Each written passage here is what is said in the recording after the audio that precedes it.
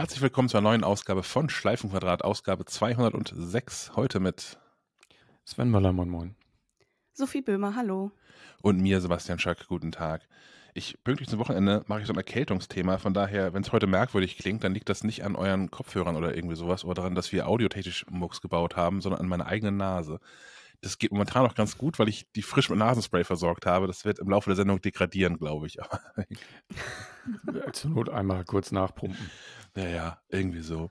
Ähm, ich habe ich hab ein Follow-up zu liefern zu dieser HomePod-Geschichte mit der, mit der Telekom. Sie lässt uns einfach nicht los, ja. Ja, ihr erinnert euch, die Story war so, wir haben das erst empfohlen, als Telekom Magenta-Kundinnen können in der Telekom Magenta-App äh, an gewissen Tagen, an drei Tagen der vergangenen Woche ähm, ähm, HomePods für günstig Geld kaufen. HomePod Mini für 69 statt Listenpreis 109 Euro. Mhm. Äh, vergangene Episode leicht zurückgerudert, weil der ganze Bestellprozess eine Katastrophe war und, und Sven mit, mit Glück und mit mehr Glück als Verstand am Ende den HomePod ergattern konnte. Ich nicht.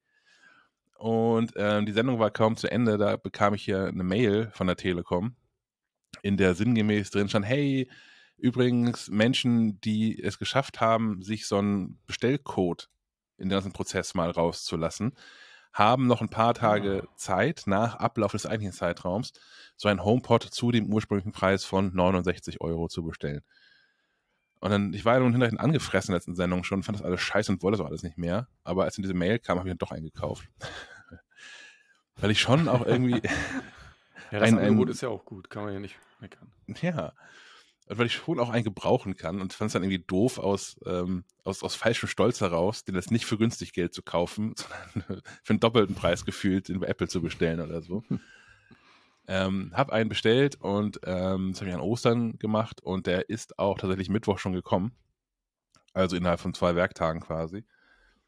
Und ähm, ich musste den gleichen Stand machen wie du, Sven. Mit ja, das haben wir privat besprochen. Ähm, das, du hattest ja HomePod-Probleme. Ja. Und deswegen wusste ich, dass äh, man den ja tatsächlich an den Mac anschließen kann. Wobei ich meine, das hat mir das Telefon auch gesagt, weil hier die äh, Infrastruktur ja schon auf dem aktuellen Stand ist und der HomePod halt noch auf 14.5 lief oder was auch immer. Ähm, das heißt, er konnte sich zwar irgendwie aktualisieren, aber kam dann nicht ins, ins Haus rein. Dafür da war ich dann nicht so überrascht, dass es hieß, ja, hier, schließ den doch mal an dein Mac an. Und dann dachte ich, huch, ach ja, da Herr Schack hat was erzählt. Habe ich dann Flugs gemacht und einmal zurückgesetzt und dann hat er sich auf die neueste Version quasi geupdatet. Musstest du also auch machen, ne? Ja, und als du mir das sagtest, dachte ich, naja, da hat er sich versprochen, frage ich manchmal danach. Aber als ich meinen auspackte, der kam tatsächlich auf, naja, also wirklich auf Version 14.5. Das mhm. ist also das, ist das iOS, was irgendwie dann 2020, 2021, 14.5 müsste 21 gewesen sein. 22, hatten sie noch ein paar Restbestände, die mussten jetzt weg. Genau, 22 kam 16 raus, 21 kam 15 raus, 20 kam 14 raus und dann wird 14.5 irgendwie in 21 gewesen sein. Mhm. Keine Ahnung, wo sie die gefunden haben. Ja, wir können ja schon mal warnen. Ich habe gerade reingeguckt in der Magenta. Wir wollen dann auch aufhören mit dieser Magenta-App. Also es ist auch wirklich keine Empfehlung. da wird nicht, nämlich schon wieder angekündigt, dass man Apple TVs kaufen kann, wo aber ja Herr Molz äh, äh, trefflich bemerkte, dass da ja diese Quatschfernbedienung bei ist. Also gar nicht die oh. Original Apple, sondern irgendwas von der Telekom oder so. Ja. Und es ist auch nicht unbedingt das allerneueste Modell. Also das ist, glaube ich, nicht so das gute Angebot. Damit Quatsch. kann man mit so einer alten, alten HomePod-Software kann man, kann man eher leben. Ja, ja, ja, genau. Und garantietechnisch ist es ja auch egal. Also ja. gilt ja ab Tag des, des Kaufs dann. Da kann der Kunde ja, ich, ich als Kunde ja nichts dafür, äh, dass das ein altes Gerät ist. Also Lustig, produktionstechnisch altes. In dem Zusammenhang, es kommt alles zusammen. Ich erzähle es kurz noch. Weil, warum auch immer, also nee, ich weiß jetzt warum oder ich habe eine Vermutung, aber ich habe diesen HomePod in dieses Netzwerk gebracht und irgendwie abends waren hier alle Geräte irgendwie offline. Ne? Das, was du ja auch hattest. War irgendwie hier 20 Geräte nicht erreichbar. Was ist da los? Es waren vielleicht auch ein paar weniger, ich weiß es nicht. Auf jeden Fall habe ich dann hier schon eine Krawatte gehabt und dachte, oh Mann, dann mache ich das mit diesem HomePod nochmal, setze ihn nochmal zurück. Hab hier natürlich auch äh, Geräte neu gestartet, was man halt so macht. Ne? Den, deinen Trick mit, der, mit dem Sicherungskasten habe ich noch nicht angewandt. Ich habe auch noch keinen großen roten äh, Notausschalter hier fürs Haus. ähm, habe das dann händisch gemacht und einige äh, ließen sich dann wieder ähm, aktivieren, andere nicht. Und bei einem stellte ich fest, huch, in diesem Zimmer ist überhaupt gar kein WLAN mehr. Was ist denn da los? Ah, stellt sich raus, dass ähm, wohl das Kabel aus der Fritzbox, die hier quasi eine Etage mit WLAN versorgt, rausgerutscht war. Also es lag nicht am HomePod, es war ein anderes Netzwerkproblem. Was für ein Glück, dass wir in der kommenden Ausgabe so ein Special darüber haben. Ne? Es gibt keine Zufälle. Kann man. Dann habe ich noch einen, kurzen Werbeblock hier. Und zwar, ich war gestern in der Apotheke, um mich zu versorgen mit, mit Dingen, damit man besser sprechen kann. Wenn man, also gestern hatte ich Hals, heute habe ich Nase. Das wechselt sich so ab. Und ich habe früher schon immer Ipalat gekauft, weil das irgendwie rein, rein pflanzlich ist und so ein bisschen ähm, beruhigend ist. Das kaufen auch, also ich, ich weiß auch von, von vielen äh, Sängerinnen, die das benutzen an Tagen, wo die Stimme sehr strapaziert ist und sowas. Und das gab es früher immer in der ähm, Version eklig und in der Version eklig ohne Zucker. Also ich fand die, ich fand die nie lecker. Das ist irgendwie, weiß nicht, Prim, Primwurzelextrakt oder irgendwie sowas. Und Was war in der Apotheke. Oder? Ja, sind Lutschpastillen. Mm, okay. Und war gestern in der Apotheke und sah, es gibt jetzt ähm, Ipalat in der Flavor Edition. Mhm. Und ich würde sagen, so acht, neun verschiedene Geschmacksrichtungen in lustigen, bunten Pappdosen. Ich habe mich für Orange Sanddorn ähm, entschieden. Sanddorn. Okay. Das auch, da, damit man sich kein anderes äh, Obst irgendwie schlecht macht. Ne? Nimmt man irgendwas, was man sonst nie isst. ich fand Sanddorn immer ganz lecker eigentlich. Also in, in so, in so okay. Hustenmedikamenten oder das Tee und sowas. Ähm, mhm. das Doofe ist natürlich, dass, also die, die, sind wirklich, dafür funktionieren auch gut. Und äh, ich finde die auch jetzt ganz schmackhaft, dafür, dass es letztlich ja irgendwie, ja nicht Medizin, aber so ein Arzneimittel ist. Problem ist, die, ähm, die Flavor Edition gibt es nicht in Zucker frei und da ist gar nicht so wenig Zucker drin. Also dafür äh, von, von 100 Gramm, ich meine, man frisst ja auch nicht so viel davon am Tag, ne? aber von 100 Gramm sind hier 15 Gramm Zucker. Ja, irgendwie muss, das, muss ja der Geschmack da reinkommen. Ne? Ja. Offensichtlich, ja. Also beim nächsten Mal kaufe ich doch wieder die Effektivität zuckerfreien, aber äh, dafür ekligeren. Naja, das war mein kleiner Werbeblock. Ähm, wo warst du letzte Zeit über, Sophie? Ich war letzte Woche im Urlaub und ähm, hab da, äh, musste mir da äh, wegen des Reiseziels ein paar Apps runterladen, um mich besser zurechtzufinden. Und damit äh, du im Podcast was zu erzählen hast. Genau, nur deswegen eigentlich, ja. wenn wir ehrlich sind. Ähm, ich war in Kopenhagen hm. und ich, ich weiß nicht, äh, das kennt man bestimmt auch aus anderen äh, Städten. Man kann sich da ja für bestimmte Attraktionen oder so auch gerne mal Apps runterladen, damit man da irgendwie Infos drüber bekommt oder sich besser zurechtfinden kann und so weiter. Und äh, ich war mit äh, meinen Freunden, mit denen ich unterwegs war, im Tivoli. Das ist ein äh, innerstädtischer Freizeitpark, also der ist quasi direkt am Bahnhof. Äh, ich glaube nicht mal nicht mal 20 Meter davon entfernt. Ähm, gegenüber quasi, ja. Genau, genau gegenüber, genau. Und ähm, der ist echt cool, also kann ich nur empfehlen als Ziel. Die App aber nicht von diesem Park. Die ist, also abgesehen davon, dass sie sowieso ständig abgestürzt ist, was vielleicht noch okay ist bei solchen, also das, das passiert mir zumindest häufiger bei solchen Apps, die jetzt nicht so, so, so super stark frequentiert werden äh, war die aber auch einfach sehr schlecht aufgebaut. Und ich frage mich dann immer so, warum macht man, warum macht man solche Apps? Also keine Ahnung, da, dafür gibt es dann vielleicht keine, keine, keine ähm, Karten, so, so, so, so Flyer-Karten, damit man sich im, im Park zurechtfindet, was ja okay ist, wenn dann nicht so viel Papier überall rumfliegt davon. Ähm, aber es war halt extrem schwierig, äh, Attraktionen zu finden über diese App. Wofür ist die denn eigentlich? Also wo, äh, kauft man darüber Tickets oder ist es die Karte oder? Alles, also okay. genau, wenn du wenn du irgendwie ein digitales äh, Ticket dir holen willst, dann musst du das über die App machen, was wir gemacht haben. Ähm, kannst nur über Kreditkarte bezahlen.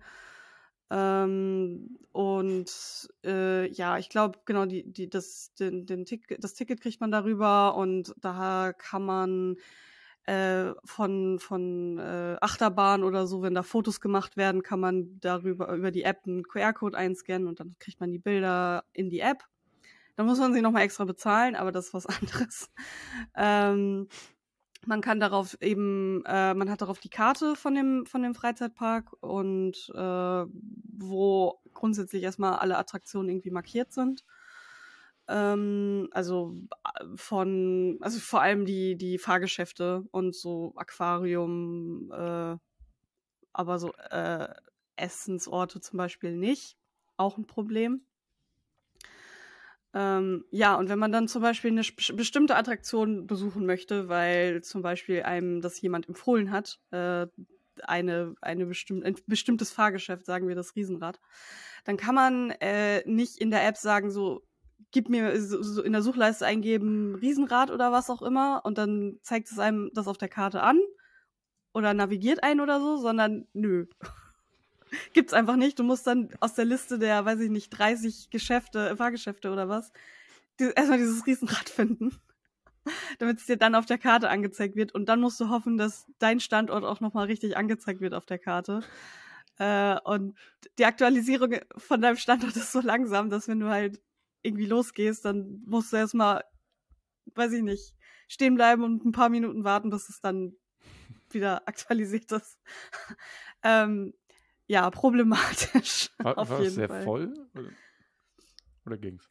Es ging. Also ähm, zum Nachmittag hin wurde es voller, auf jeden Fall. Ähm, wir waren aber unter der Woche. Ich glaube, deswegen war es sehr okay. Also gab kein Gedränge. Die Schlangen waren halbwegs kurz und äh, ging sowieso recht schnell immer. Ähm, aber ja, also ich, ich verstehe das nicht, warum man solche Apps macht, vor allem mit den die Freunde, die Freunde, mit denen ich unterwegs war, die waren irgendwie am Wochenende vorher noch im Phantasialand gewesen, im äh, Freizeitpark in Deutschland. Und die hatte eine wesentlich bessere App. Da konnte man das nämlich genau machen. Da konnte man bestimmte äh, Attraktionen irgendwie raussuchen und sich dahin navigieren lassen und so. Und auch irgendwie weitere Informationen über bestimmte äh, Sachen bekommen. Und das, das fehlte in der App alles. Also fand ich, fand ich irgendwie ein bisschen schade. Ja, da kann man viel kaputt machen, ne? Ähm, Ich Hm. erinnere mich auch irgendwie, also ich, ich früher mal auf dem Roskilde Festival, das hatte damals schon eine super App, wo du echt über, überrascht warst, wo du dir einfach so, konntest du deine, deine, deine Acts, die du so gucken wolltest, einfach anklicken und dann hast du da, die sind dann automatisch in so einen Kalender und dann hattest du so einen, deinen eigenen Schedule. Das Hm. wahnsinnig praktisch. Andere Festivals so einfach, nö, machen wir nicht. So, du hast hier, du hast hier ein Timetable, kannst dir selber anstreichen und musst du selber gucken, wie du klarkommst. Ähm, ja, das ist echt, das ist echt schade. Und gerade bei so sowas kann das ja viel helfen. Ja, also ich finde es vor allem, finde es halt dann vor allem schade, wenn es halt schlecht gemacht wird. Dann ist es mir lieber, also dann ist es mir lieber gar nichts zu haben und dann nur so eine, keine Ahnung, einfach eine eigene Karte zu haben und mich selbst zu navigieren, als mich über die App zu ärgern. So. Mhm.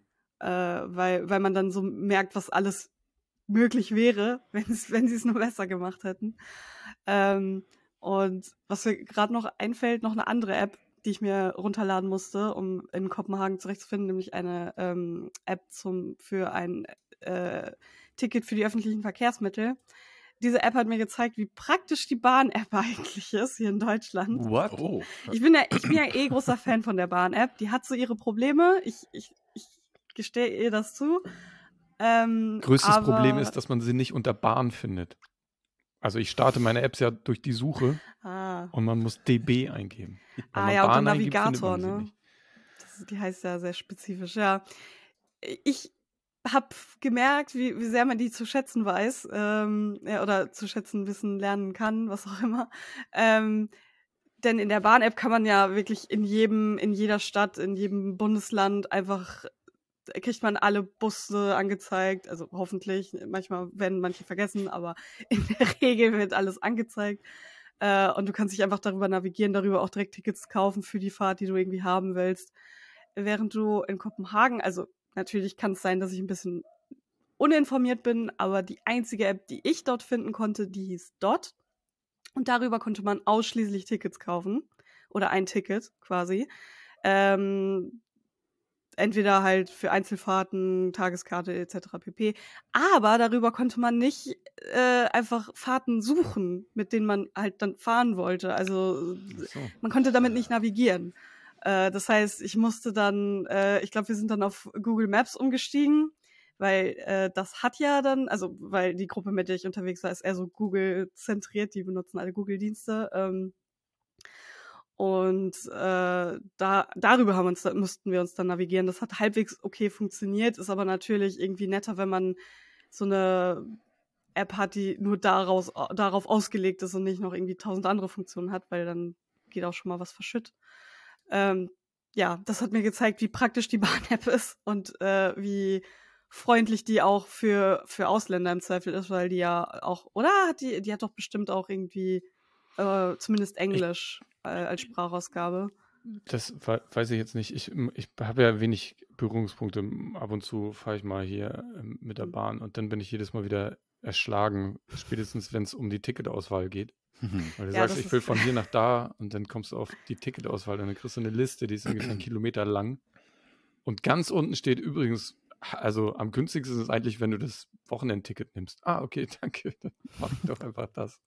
Ja, ja, das ist ein Problem. Also ich meine, das, das ist halt, aber das liegt ja dann an dem, an der, an der Ticketpolitik in Anführungszeichen der jeweiligen äh, öffentlichen Verkehrsmittel. In mhm. Kopenhagen, ja, kriegst du halt ein Ticket für, für unterschiedliche, ähm, wie heißt es, äh, Bereiche oder Zonen. Äh, und dann kannst du da halt überall drin fahren. Ich weiß halt auch nicht, wie es dann äh, in ganz Kopenhagen wäre, wenn ich jetzt durch ganz Kopenhagen, äh, durch ganz Dänemark fahren wollen würde. Äh, Ob es dann auch so einfach wäre, wenn, dass ich dann einfach so ein ganz Dänemark-Ticket kaufen kann. Oder ob ich dann auch eine ewig lange Liste kriege und hoffe, hoffen muss, dass ich vielleicht irgendwann die richtige finde. Wenn es überhaupt so eine App gibt, muss man ja auch dazu sagen. Hm. Ähm, von daher ja, Bahn-App äh, ist gar nicht so schlecht. Die hat ihre, ihre kleinen Fehler, äh, aber ich äh, bin großer Fan, noch mehr seit ich in Kopenhagen war. Ich habe gehört, es wird gerade noch ein bisschen komplizierter, dank des hm? 49-Euro-Tickets. Ne? Das scheint ja auch alles nicht so einfach zu sein. Äh, inwiefern? Als, naja, in Bundesländern, in allen Bundesländern irgendwie unterschiedlich ist und unterschiedlich kostet und unterschiedliche ah. Voraussetzungen hat und es ist wohl alles, also das 9-Euro-Ticket war super irgendwie. Und jetzt, das, was jetzt passiert, ist, scheint wieder ein bisschen komplizierter zu werden. Das, das, einzige Problem, was ich mitbekommen hatte zu dem 49-Euro-Ticket, ist diese Geschichte mit Regionalzüge von DB Fernverkehr äh, genau. sind nicht gültig. Aber das war auch ein Problem mhm. beim 9-Euro-Ticket. Mhm. Also das, äh, da, das war da nicht ausgenommen von. Was ich jetzt so gesehen habe, ist, dass es ähm, bundeslandabhängig ist, was mitgenommen werden darf. Also bei einigen, in einigen Bundesländern kannst du zum Beispiel ein Fahrrad mitnehmen oder einen Hund in deinem 49-Euro-Ticket, in anderen Bundesländern nicht. Mhm. Da musst du an der, an der innerdeutschen Landesgrenze äh, nochmal nachlösen für, für deinen Dackel. genau, so kann nicht mehr laufen. Das ist auch eine Option. Die Züge ja, sind häufig lahm genug, kann nicht mehr laufen. Aber jetzt läufst du. Wird aufs Dach gepackt. ICE geht ja eh nicht Der Dackel Express, ja, sehr schön. Habt, habt ihr gesehen, dass es eine neue äh, DB-App gibt? Also parallel zu der bestehenden, es gibt einen Next-DB-Navigator, was irgendwie deren neue App wird, wahrscheinlich. Nee, habe ich nicht mitbekommen. Die sieht so ein bisschen moderner aus. Ob die was kann, weiß ich nicht, finde ich unter Umständen Montag heraus. Ja, ich kann mir, ich lade mir die auch mal runter. Ich benutze die ja sowieso fast jeden Tag, wenn ich irgendwie unterwegs bin. Ja. Damit navigiere ich jeglichen, jegliche Reise, so kurz sie auch sein mag wenn ich, wenn ich öffentliche Verkehrsmittel benutze. Ah. Next, der ist einfach Next oder was? Der ist einfach NextDB Navigator. Ah, Next, nicht Next, ja, alles egal. Nicht zu wechseln mit der Next Bike App, die ja. Mhm. Okay. Ich habe hab gerade lustig, wir sind hier gerade am Plan so eine Wanderung, äh, wo wir quasi von einem Dorf zum nächsten laufen. Und ähm, um dann zu gucken, wie wir zurückkommen. Und das Lustige ist, man würde mit dem Fahrrad würde man eine halbe Stunde fahren. Mhm. Äh, mit den öffentlichen Verkehrsmitteln ist man mindestens, mindestens anderthalb, wenn nicht zwei Stunden unterwegs und fährt über ganz, also fährt, glaube ich, über Gettorf oder so. wow. Das ist, also es liegt fast nebeneinander, aber wir machen mal einen kleinen Umweg. Scheiße. Da lohnt das Großraumtaxi. Ja, denke, darauf wird es dann auslaufen. Ja. ja. Unseren Freizeitparks, ich bin ja übernächste Woche im Urlaub und ähm, heute in 14 Tagen quasi werde ich schon im Legoland in Dänemark gewesen sein mit Alibi-Kindern. Hm. Oh, da will ich auch hin. Vielleicht kann ich da was dann berichten, wie, wie, ob es da eine App gibt und wenn ja, wie die so funktioniert. Also Lego hat zumindest ein paar gute, funktionierende Apps. Ähm, das kann ich berichten. Wir haben ja zum Beispiel die, es gibt ja die Bau-App, also Lego Bild heißt die, wo, wo, wo du wo, a, a, Zugriff auf, ich glaube, alle ähm, Bauanleitungen findest. Okay. Die ist gut, also die kannst du parallel nutzen, dann kannst du auch so all deine, all deine Sets, die du so hast, kannst du dir einspeichern und dann immer wieder rausholen, weil das eine Kind ja häufiger mal seine Sets auseinanderbaut und dann wieder zusammenbauen will und dann, bis ich da irgendwie das richtige äh, Papierding gefunden habe, bin ich mit der App schneller. Und die hat zum Teil so eine, also die neueren Modelle haben so eine 3D-Ansicht, die bei in, in vielen Bereichen noch, ähm, noch ein bisschen deutlicher macht, was genau jetzt zu tun ist. Hm. Die ist ganz gut. Und, Ah, ja, die, die, und keine- so, eine, so eine digitale Katalog-App haben die auch. Also es gibt den Katalog, ja, ich glaube monatlich, wa- wahnsinnigerweise, weil die ja monatlich irgendwelche neuen Sets rausbringen. Und ähm, neuere Sachen sind dann auch eben mit so einer Augmented Reality App, kannst du dir dann angucken, wie denn das neueste Spider-Man-Set über deinen Tisch fährt und so. Das machen die schon gut. Ich hoffe, dass sie das im Legoland auch so Ich- umgesetzt kriegen. Ich kann es mir vorstellen. Also ich glaube schon alle einfach deswegen, weil Legoland ja auch, ähm, also gibt es ja mehrere von. Und dann kann ich mir vorstellen, dass da auch ein größeres Team irgendwie hintersteckt, das da, sich darum kümmert. Und wer, wer weiß, was für eine arme Sau diese Tivoli-App da zusammenschmeißen musste. Weiß Also- man ja nicht. Ich habe jetzt irgendwann, weil ich doch nicht warten konnte. Ich habe ein parallel Legoland Dänemark, Legoland Billund Ressort App runtergeladen. Was die auf jeden Fall schon drin haben, sind die ganzen Attraktion, Attraktivitäten. Wer ist das? Attraktion? Ja, bestimmt Mhm. Attraktion. Fahrgeschäfte. Ähm, und du kannst dir hier, die kannst dir Wartezeiten anzeigen lassen, also live Oh. Wartezeiten. Ja, das ist auch nett. Das hatte die auch nicht in, beim Tivoli. Und die werden, wenn ich das richtig interpretiere, automatisch sortiert von kürzester nach längster Wartezeit. Also Ja, das ist geil. Jetzt live könntest du zum Beispiel in die Drachenbahn mit 0 Minuten Wartezeit, aber wenn du, wenn du in den Flying Eagle möchtest, eine Viertelstunde Zeit mitbringen. Und muss mindestens ein Meter groß sein. Beziehungsweise 1,2 Meter ohne Erwachsene.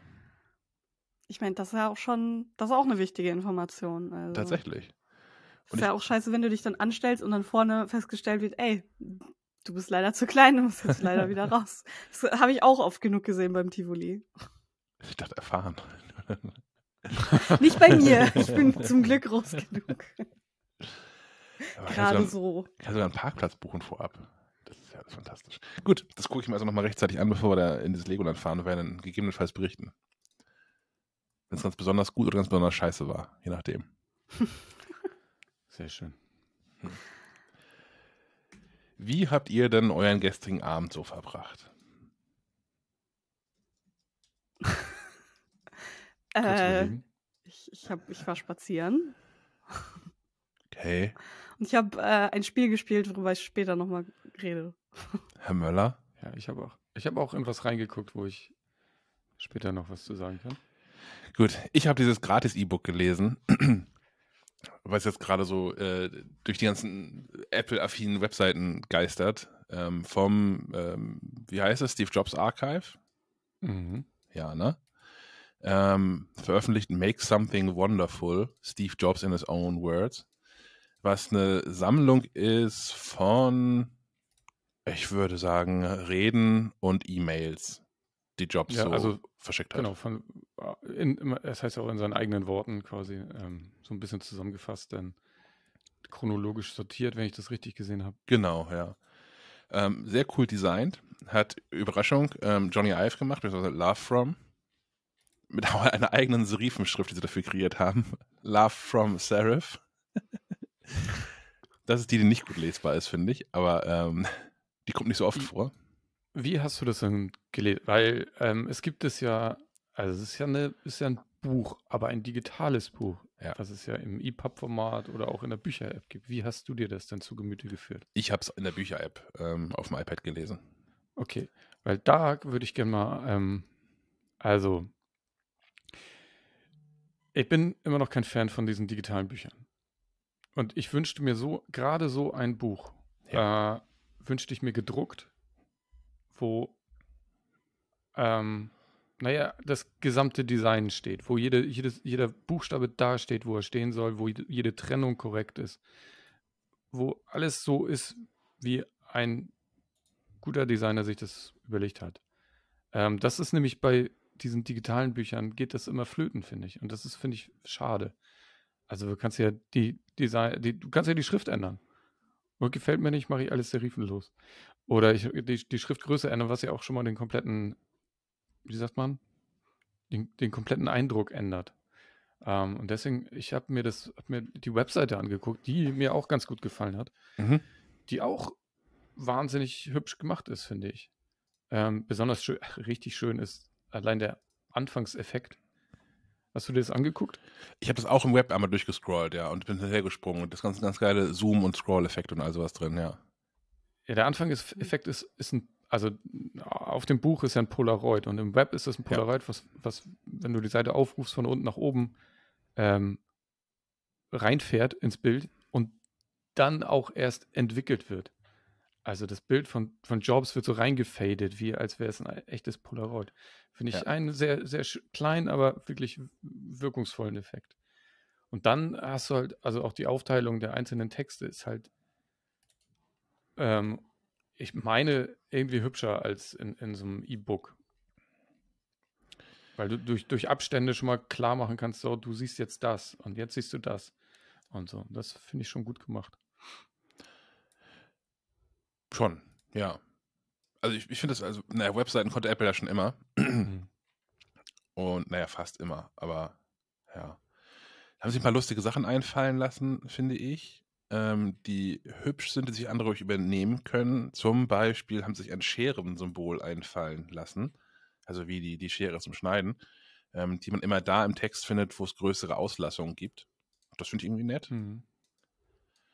Und ähm, ich muss mich mal korrigieren ähm, mit dieser, dieser Love from Serif-Schrift. Die ist an und für sich total gut zu lesen. Was ich schlecht lesbar finde, ist, wenn die ähm, in, in sag schnell, Italic ähm, Kursiv. Kursiv, Kursiv Dankeschön. Kursiv steht. Das finde ich anstrengend, aber so als in der normalen das sind ja auch immer total gut. Wenn ich das richtig sehe, sind die Sachen, die quasi Anmerkungen der Redaktion sind, sind ja in, in Kursiv dann, ne? Alles andere ist in der normalen Sief. Ja, normal. das sind auch teilweise so Erzählungen, ne? Also ich habe hier, ähm, was ich mir als Screenshot weggespeichert habe, ist ähm, der Anfang des Kapitels quasi 76 bis 85. Mhm. Das ist so eine ganze Seite, die in diesem ähm, Kursiven ist. Und das fand ich, fürs Au für mein Auge war es anstrengend, aber ähm, nun gut. Aber es ist schon, ist schon wahnsinnig hübsch, das stimmt. Ansonsten viele coole Fotos drin, also auch viele Fotos, die ich ehrlicherweise noch nicht gesehen habe. Ich würde sagen, sogar sagen, dass die meisten Fotos da drin kannte ich nicht. Was ein bisschen ein Zweck der Anstellung, glaube ich, ist, ne? dass das so Sachen sind, die man nicht schon hundertmal gelesen und hundertmal gesehen hat. Selbst als, als, als Fan. Und ja, aber was mir echt fehlt, ist, äh, ich verstehe das auch nicht. Gerade nachdem, nachdem Apple ja auch schon ähm, mit, mit und unter Johnny Ive dieses andere Coffee Table Book rausgebracht hat mit den Apple-Produkten drin. Ähm, warum es da jetzt keine gedruckte Variante von gibt. Ist mir auch fast egal, was für einen Preis drauf schreibt, dann schreibt er halt irgendwie 60 Dollar drauf oder was. Weil das mhm. irgendein super toller, hast du nicht gesehen, Einband ist und ich weiß nicht, was für ein spezielles Spezialpapier, was nur. Genau, da kannst du dann ja auch noch viel mit der Haptik machen, also wenn du ja. da besondere Materialien nimmst. Es wäre es auf jeden Fall wert, finde ich. Ja, das hatten sie damals ja auch gemacht, ne? bei diesem, ähm, diesem, diesem Foto, Fotobuch da. Ähm, das hat ja auch so einen total hochwertigen weißen Lein ein, ein und das Papier ist, ich weiß nicht, Hand, handgeschöpft von irgendwelchen Bäumen, die nur auf fünf Quadratmeter auf der Welt wachsen oder irgendwie sowas. Jeder Buchstabe handgesetzt. Ja, also vielleicht nicht, aber ähm, da kann man sich auch austoben. Also man kann das ja, ich finde es total gut, dass das kostenfrei zur Verfügung gestellt wird, aber man könnte sich ja parallel auch noch an so einem echten haptischen Produkt austoben und wem es das dann wert ist, der kauft das dann halt. Ja, das wäre wirklich schön. Äh, hast du es denn, du hast es aber nicht komplett durchgelesen, oder? Doch, das ging schnell. Weiß, also, hat doch auch viel Text. Ja, aber das war jetzt so ein Abend. Also ja, es ist viel Text, aber es ist auch viel, viel Lücke. Also sind da viele E-Mails drin und hast du halt irgendwie, ich weiß nicht, wie, wie viel E-Mail-Header ich gelesen habe, wo einfach nur drin steht, von Steve an, hast du nicht gesehen, Datum, Überschrift. und das ist schon die Viertelseite ein, aufgrund dessen, wie es gesetzt ist. Ich finde das gar nicht so wenig. Aber krass, ja. Wir kommen nachher nochmal zu meinem Leseverhalten. Es ist weniger, als man so denkt, fand ich. Und es sind auch viele ganzseitige, ähm, also ganze Seiten drin, die nur für Bilder da sind und sowas. Und, äh, für Einzelbilder da sind. Ja. Aber ja, das ist für meinen Abend und ich, ich, ich kann das durchaus empfehlen. Also es stehen, glaube ich, jetzt keine krassen Geheimnisse drin. Es sind inhaltlich so das alles Sachen, die man wissen hätte können, wenn man sich bemüht hat, aus, keine Ahnung, diversen Rechtsprozessen, wo ja auch mal Mails aufgetaucht sind oder ähm, anderen Geschichten, die erzählt worden sind, Anekdoten, Sachen, die in, in seiner Biografie drin stehen und so. Aber ich finde es schon nochmal nett, das alles so, naja, in seinen Worten zu lesen. Hm. Mhm. Und da kann sich auch die eine oder andere Person nochmal was von abschauen, wie man Mails so schreibt. Okay. So firmeninterne Mails. Mich im Begriff. Gut, mehr alte Apple-Kram. Genau, ist mir gestern Abend, gestern, gestern über den Weg gelaufen. Es gibt eine Webseite, die nennt sich Infinite Mac, ähm, wo man, wenn man das dann miterlebt hat, nochmal in die verschiedenen Betriebssysteme des Mac eintauchen kann. Und zwar von, angefangen vom allerersten, von 84 bis OS 9, ne? Mhm. 9.0.4, genau, 2000, aus, aus dem Jahr 2000. Ist eine Webseite, hm, die das emuliert. Zum Großteil. Also, äh, ich war überrascht. Ich weiß nicht, Sophie, hast du irgendwie ein altes macOS mal miterlebt? Nee. nee, also ich glaube, das erste, was ich so gesehen habe, war so, äh, boah, elf oder zwölf, aber auch nur über Filme oder so. Okay, ja, weil ich ähm, damals in meiner Ausbildung habe hab ich auf jeden Fall noch ich weiß nicht, ob es auf macOS 8, wahrscheinlich aber auf jeden Fall macOS 9 ähm, gearbeitet. Und es ist schon, also es ist schon krass, wenn man sich das zu einem heutigen Betriebssystem anguckt. Also wie, wie stark sich das gewandelt hat. Mm. Und trotzdem, und äh, genauso spannend ist es, dass sie äh, einen Großteil ähm, emuliert haben. Ich meine sogar, bei irgendeinem habe ich auch äh, Spiele, also Spiele sind, waren ja bei macOS meistens dabei. Bei irgendeinem gab es sogar ein, irgendein so Warcraft-Spiel, was du einfach so spielen konntest. Ja, was du denkst, hä? Alles im Browser? was? Das ist schon faszinierend. Schack, hast du dir das mal angucken können? Ja. Oder hattest du keine Zeit beim Lesen? ich habe mir das heute Morgen angeguckt. Bei mir ist was ganz, was ganz Unangenehmes passiert. Ähm, ich habe so durchgescrollt das fängt ja irgendwie in den 80ern an. Und mir, mhm. ich dachte so, ja, das ist aber ganz schön alt hier. Und dann sprang das irgendwann in, in die 90er, also, ah, jetzt kommen wir zu den neueren Sachen, bis mir gewahr wurde, dass die neueren Sachen 30 Jahre alt sind. Und es ändert dann ja bei, bei dem eigentlich, eigentlich immer noch taufrischen äh, macOS äh, 9 mit 2000. Und ich so, ah, das sind auch 23 Jahre, verstehe.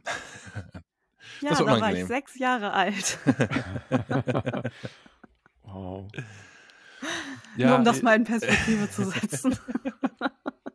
Danke, ja. Ja, aber dabei ist auch so, ich, äh, mein, mein erster Mac, an dem ich wirklich was gemacht habe, das, das muss auch schon, das muss macOS 9 gewesen sein, denke ich mal. Ich hatte davor, ich hatte lange Zeit Windows gedöns und hatte dann Linux eine ganze Zeit. Und hatte dann, ich hatte einen alten Mac.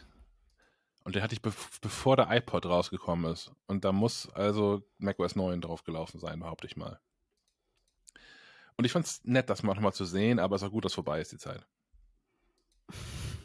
Ja, aber es ist ein schönes Archiv und da kann man wirklich ja. Lange, glaube ich, also was ist lange, ne? Kann man sich mal einen Abend mit äh, drin versenken und äh, so ein bisschen ausprobieren, was wo war und so. Ich habe ich hab mir das auch angeguckt. Äh, äh erneut dieses Ohnmachtsgefühl von, wie funktioniert das hier alles? Wo ist irgendwas? Was ich schon hatte, als ich hier zum ersten Mal macOS benutzt habe. Ähm, weil ich ja vorher, bevor ich angefangen habe hier zu arbeiten, immer äh, Windows benutzt habe.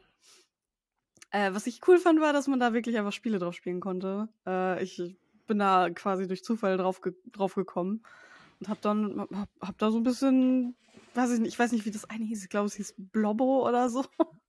Sagt Ja, euch das was? Ja, es gab, also Minesweeper gab es nicht, aber Blobo Light gibt es hier. Battle Chess zum Beispiel, ich glaube, das war auch immer dabei. Ich, Ja, das war cool. Das mochte ich. ja, das waren Zeiten. Und dieses Aussah, ne? Wenn man sich heute, also mit den Möglichkeiten, wenn man quasi den Computer nochmal neu erfinden würde. Ja.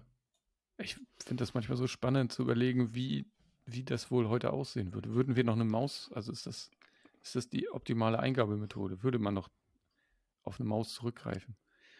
Äh, was ich ja so spannend finde, dass es ja offensichtlich bis 2022 oder wann gedauert hat, bis wir von diesem Weiß weggekommen sind, wobei wir immer noch auf weißen Dingen schreiben, weil es aber, was ja aber auch nicht unbedingt sinnvoll ist. Also am Computer jetzt zum Beispiel. Einfach weil wir dieses Papier gewohnt sind. Und Papier ist halt immer hell und dann schreibst du da drauf. Aber am- Rechner musst du es ja nicht unbedingt tun. Finde ich alles spannend. Wobei ich das, also das finde ich nochmal irritierender, seit mir irgendwann, keine Ahnung vor wie vielen Jahren gewahr geworden ist, dass der Amerikaner an und für sich ja auf seinem Legal Paper da irgendwie schreibt, was ja meistens irgendwie so gelblich ist. Mhm. Hm. Also und, und na, trotzdem so Computer, ja, deutsche Erfindung, dies, das, aber alle relevanten Computer aus den USA. Ähm, und die trotzdem waren die ja immer, also Word und so war schon immer weiß. Ein Textmaker und wie sie alle hießen. Ich bin auch nicht sicher, ob man das auf gelb umstellen konnte. Notizzettel waren schon immer gelblich, aber sonst? Also mittlerweile gibt es ja zumindest so Dark Mode-Geschichten.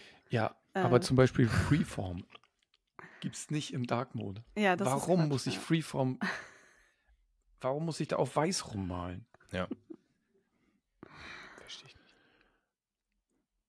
Hm. Naja, das war ein, ein kleiner Ausflug in die Welt des Mac. Liegt es daran, dass sich Farben invertieren müssten? Also ich habe ein Zeichenprogramm, Freeform grundsätzlich ja irgendwie ein Zeichenprogramm, in dem ich auch zeichnen kann. Und wo ich ja vielleicht Mhm. bewusst schwarz als Farbe male, um irgendwas zu machen. Und wenn du das jetzt dir irgendwie auf in, im, im Dark Mode anguckst, dann müssten Farben irgendwie invertiert werden und so, so Farblegenden fallen auseinander oder sowas. Kann das sowas? Ja, auf jeden Fall. Also es Mhm. gibt ja ähm, für, für, für Google gibt es ja diverse Plugins, wo, du, wo man sich das gut angucken kann, dass es nicht einfach nur eine, äh, nicht nur gemacht ist, wenn man Dinge invertiert, weil das sieht dann alles ganz komisch aus plötzlich. Ja. Ähm, aber wenn man das Dokument von vornherein auf schwarz baut und quasi dann mit den Dingen auch arbeitet, es gibt ja eine, gibt, in GoodNotes kann man es zumindest dunkelgrau machen, was für mich immer noch, was noch nicht, was ich noch nicht so geil finde, es ist immer noch irgendwie ein Untergrund. Ich fände es halt schön, auch durch aktuelle Displays, die ja wirklich ein Schwarz liefern, was wirklich schwarz ist, wo einfach nichts ist. Und wenn man dann durch, durch Malen, durch, mit Farbe oder mit Weiß oder was auch immer, dadurch erst die Dinge, die Inhalte erschafft, die dann auch dann erst auftauchen.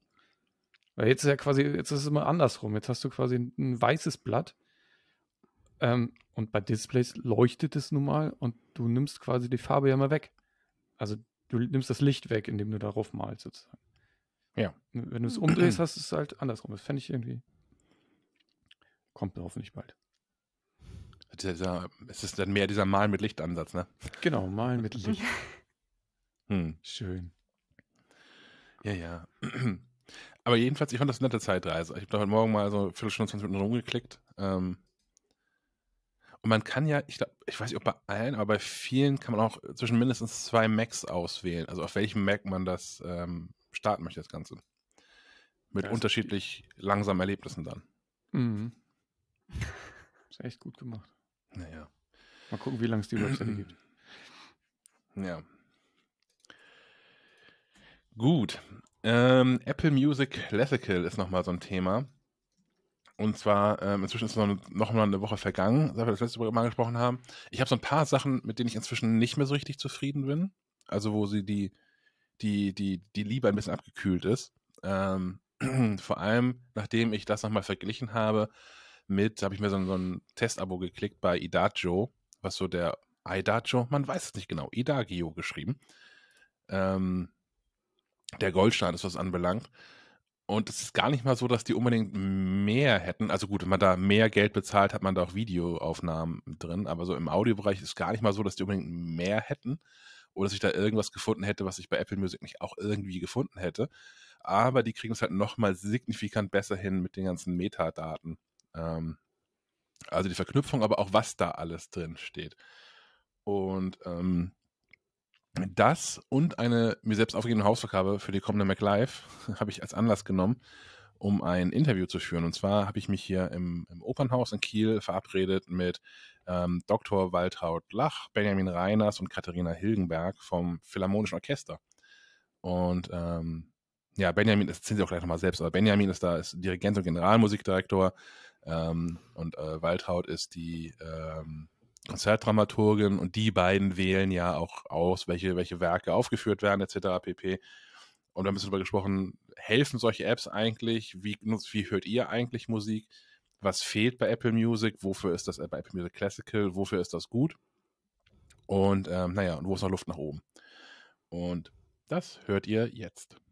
Ich habe mich heute verabredet mit Katharina, Waltraud und Benjamin an der Oper in Kiel. Wollt ihr kurz am besten selbst erzählen, wer ihr seid, was ihr hier macht? Ja, ich bin Waltraud, ich bin Konzertdramaturgin und Leiterin der Musikvermittlung. Meistens zwei Begriffe, mit denen auch häufig unser Publikum nicht so viel anfangen kann. Bedeutet ähm, im Großen und Ganzen gesagt, dass ich zusammen mit Benjamin der sich ja gleich noch selbst vorstellen wird, die Programme für unsere Konzerte gestalte, die auch moderiere, Einführung mache, Programmhefte schreibe und den ganzen Kinder- und Jugendbereich auch mitgestalte. Oder Ladies First? Ja, Ladies First, auf jeden Fall. Hallo, ähm, ich bin Katharina Hilgenberg und ich bin ähm, Referentin vom Generalmusikdirektor Benjamin Reiners, der sich gerade auch vorstellen wird. Und ich mache auch die Öffentlichkeitsarbeit für die Konzertsparte. Ja, und ich bin Benjamin, Benjamin Reiders und ich bin Generalmusikdirektor der Landeshauptstadt Kiel, Leiter des Philharmonischen Orchesters Kiel und auch musikalischer Leiter der Oper hier in Kiel.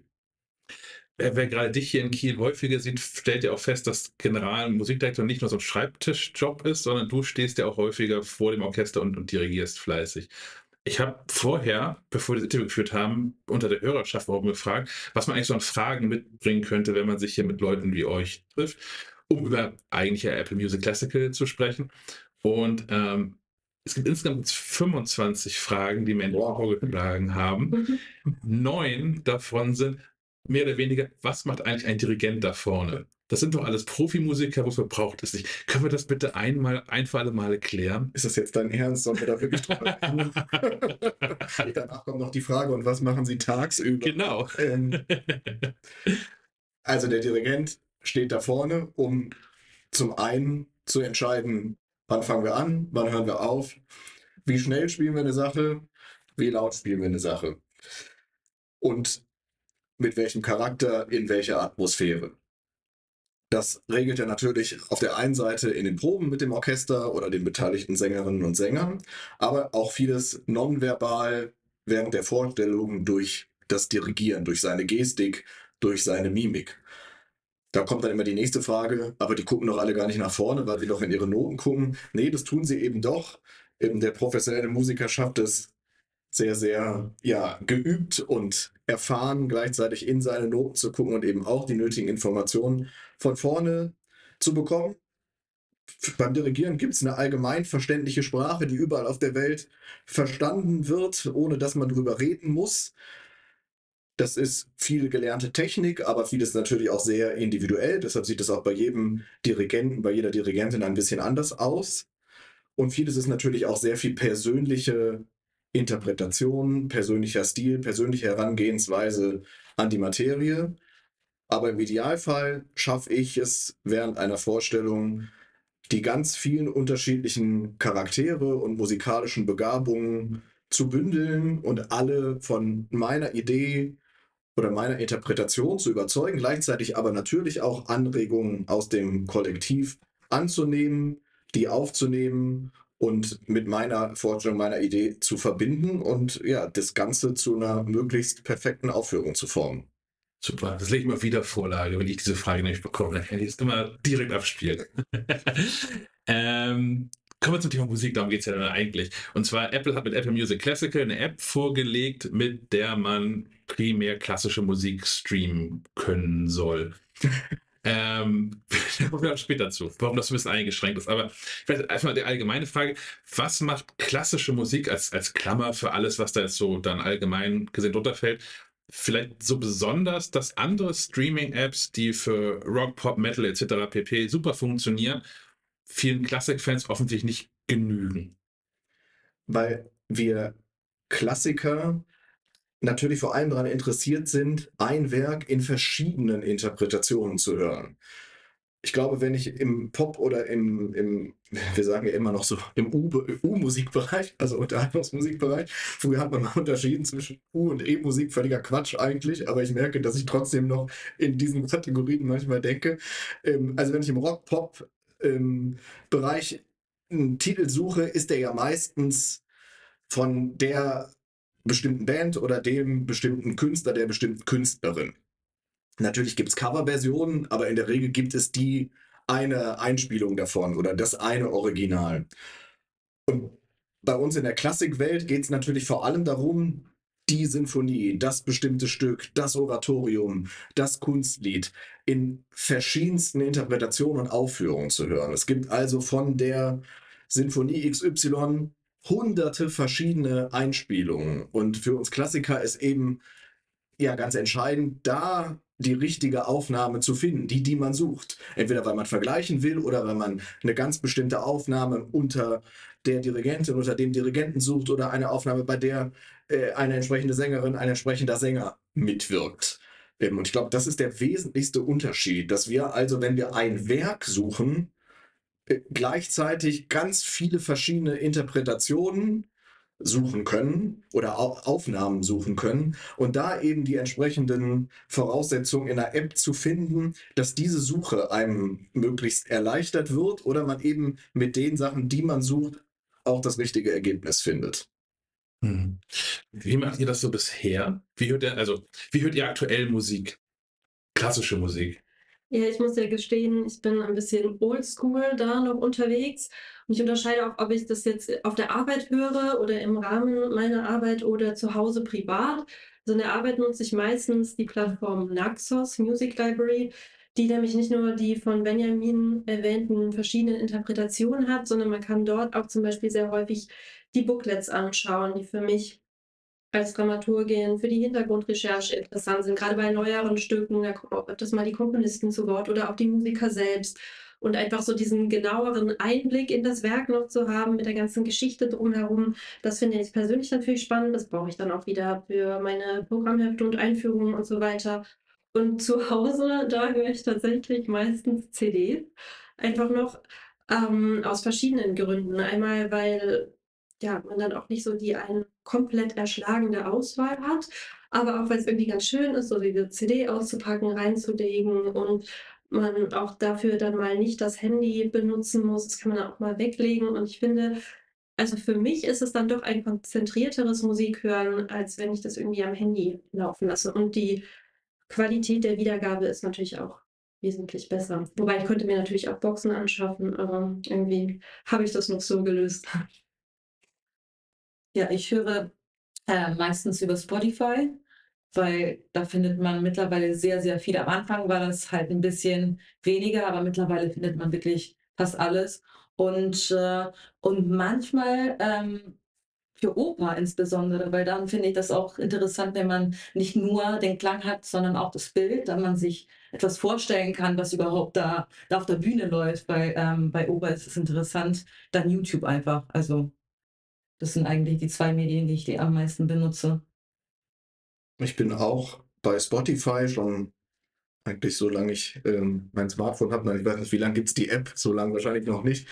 Ähm, bei, bei Spotify dabei, habe das aber seit ein paar Jahren ergänzt über eine Klassik-App, die heißt Idagio, ähm, also Idagio geschrieben, ähm, mit der ich wahnsinnig gute Erfahrungen gemacht habe und dann, also ja, die wirklich einfach täglich nutze und ein ganz, ganz großer Fan dieser App bin. Ähm, CDs spielen bei mir nicht mehr so eine ganz große Rolle. Wir haben zwar ganz viele zu Hause, auch meine Frau ist auch Sängerin und nimmt viele, viele CDs auf. Das ist ja auch was Interessantes, dass im Klassikbereich auch immer die CD wirklich noch im Mittelpunkt steht bei den Veröffentlichungen. Aber so wirklich abspielen tun wir sie eigentlich selten. Ähm, wir verschenken sie oft, weil natürlich die Haptik toll ist und eben zu sagen, hey, das ist hier eine CD, da habe ich dran, dran mitgewirkt. Aber am Wesen, im Wesentlichen Streaming-Dienste Spotify, Idagio, immer mal wieder auch Digital Concert Hall der Berliner Philharmoniker und natürlich auch auf die Schnelle immer mal YouTube. Da ist man immer ein bisschen hin und her gerissen, natürlich, weil da auch viel in schlechter Qualität online ist, soundmäßig in schlechter Qualität und auch viele ja, Veröffentlichungen da kursieren, die wahrscheinlich nicht ganz rechtens sind. Aber um mal schnell irgendwie was nachzugucken, zu, zu checken, wie lang ist irgendwie ein Stück, äh, wie lang ist die und die Sinfonie, wenn wir Programme machen, Waltraud und ich, ist das ganz spannend, mal schnell irgendwie was zu checken und auch mal eine ganz schnelle Besetzung zu gucken, die man vielleicht in keinem Nachschlagewerk findet, ähm, ist YouTube doch auch immer eine genutzte Quelle. Mhm. Dann gerade mal, wo ihr bei, bei, bei Spotify schon wart, was ja im Prinzip ähnlich funktioniert wie das standardmäßige Apple Music. Was sind so da, da Stolperfallen oder worüber stolpert man, wenn man nach klassischer Musik hört? Du sagtest ja gerade schon, ähm, das ist das Beispiel, was ich auch schon mal in Menschen, die den Podcast prüfe, gehört, war mein Beispiel die Mondschein-Sonate, die man als Mondschein-Sonate findet, aber wenn es dann äh, von in London eingespielt worden ist und Mondschein-Sonate heißt, findet man es nicht unter Mondschein-Sonate. Was, was sind noch Dinge, die ein bei der Nutzung von dann in dem Fall Spotify vielleicht nervt? Oder hattet ihr bisher gar nicht so den, den Gedanken von, das ist alles Mist, da muss man was anderes her? Doch bei Spotify ärgert man sich schon manchmal, dass die Suche einem erschwert wird. Ich muss aber sagen, wenn man sich da so ein bisschen reingefuchst hat, weiß man, ja. wie, wie, man das austricksen kann und was es für Suchoptionen gibt. Aber natürlich ist es nicht so luxuriös wie bei vergleichbaren Apps. Also gerade die Sprache ähm, ist natürlich oft sehr unterschiedlich. Manchmal selbst, wie der Komponist geschrieben wird, ähm, ne, wenn man Tchaikovsky oder Prokofjew oder Rachmaninov in den verschiedensten Schreibweisen kommt man auch ja. ähm, nicht immer so zum Ziel, wie man das gerne hätte, aber man, man weiß es auszutricksen, aber natürlich ist es nicht so luxuriös, dass man, wenn man jetzt nach einem Werkeverzeichnis oder was suchen will, ist es nicht immer entsprechend ähm, angegeben. Ja, man muss wissen, wie man damit umgeht, oder? Ich finde auch tatsächlich sehr schwierig, wenn du eine Oper abspielst, äh, dann dich in den hunderten von Tracks dann zurechtzufinden und die genaue Stelle zu finden. Ja. Das ist immer die Hölle so ein bisschen. Ja. Das ist auch so eine Schwierigkeit. Ja, und bei klassischer Musik ist es ja oft so, dass dann ja doch der, die eine Nummer in die nächste übergeht. Und das ist auch nicht immer optimal gelöst. Dann hat man halt doch gerade bei eben, du hast gerade Oper angesprochen oder Oratorium, wo, ganz, wo es ganz, ganz viele Tracks gibt, manchmal nur ein Rezitativ von wenigen Sekunden, das dann wieder in die nächste Ari oder in das nächste Ensemble übergeht und dann gibt es noch einen kleinen Stopp oder eine kleine Unterbrechung. Das ist nicht so schön. Hm.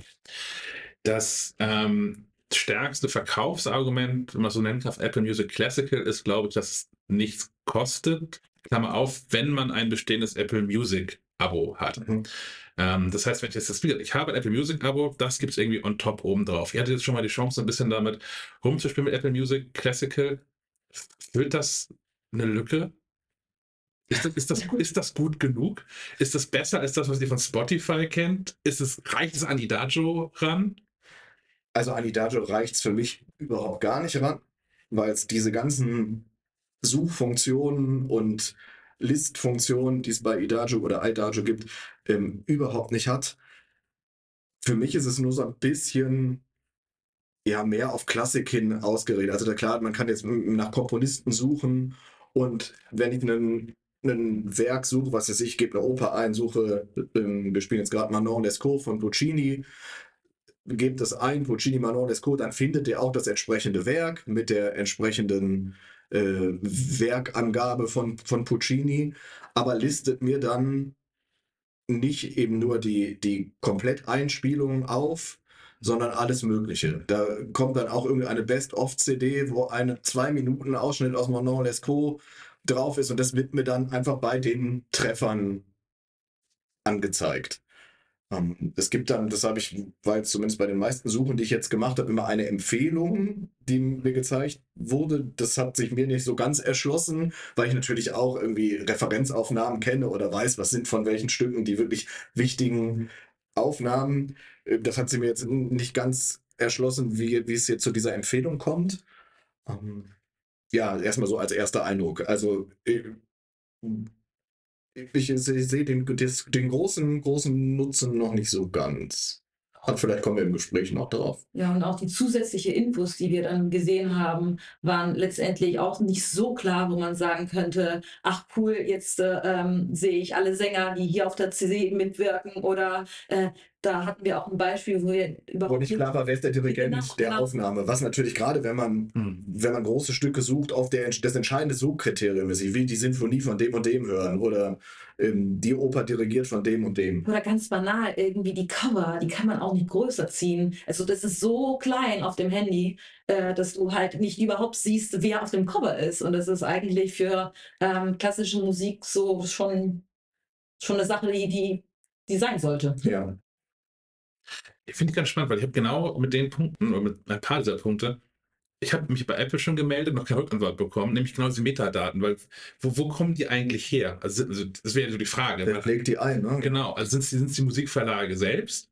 Dann wäre es irgendwie schwach, dass da nicht mehr Daten drin sind, weil die anderswo ja liegen und ja eigentlich auch digital vorliegen müssten. Wenn ich die deutsche Grammophon bin, habe ich ja hoffentlich all die ganzen Daten und Listen.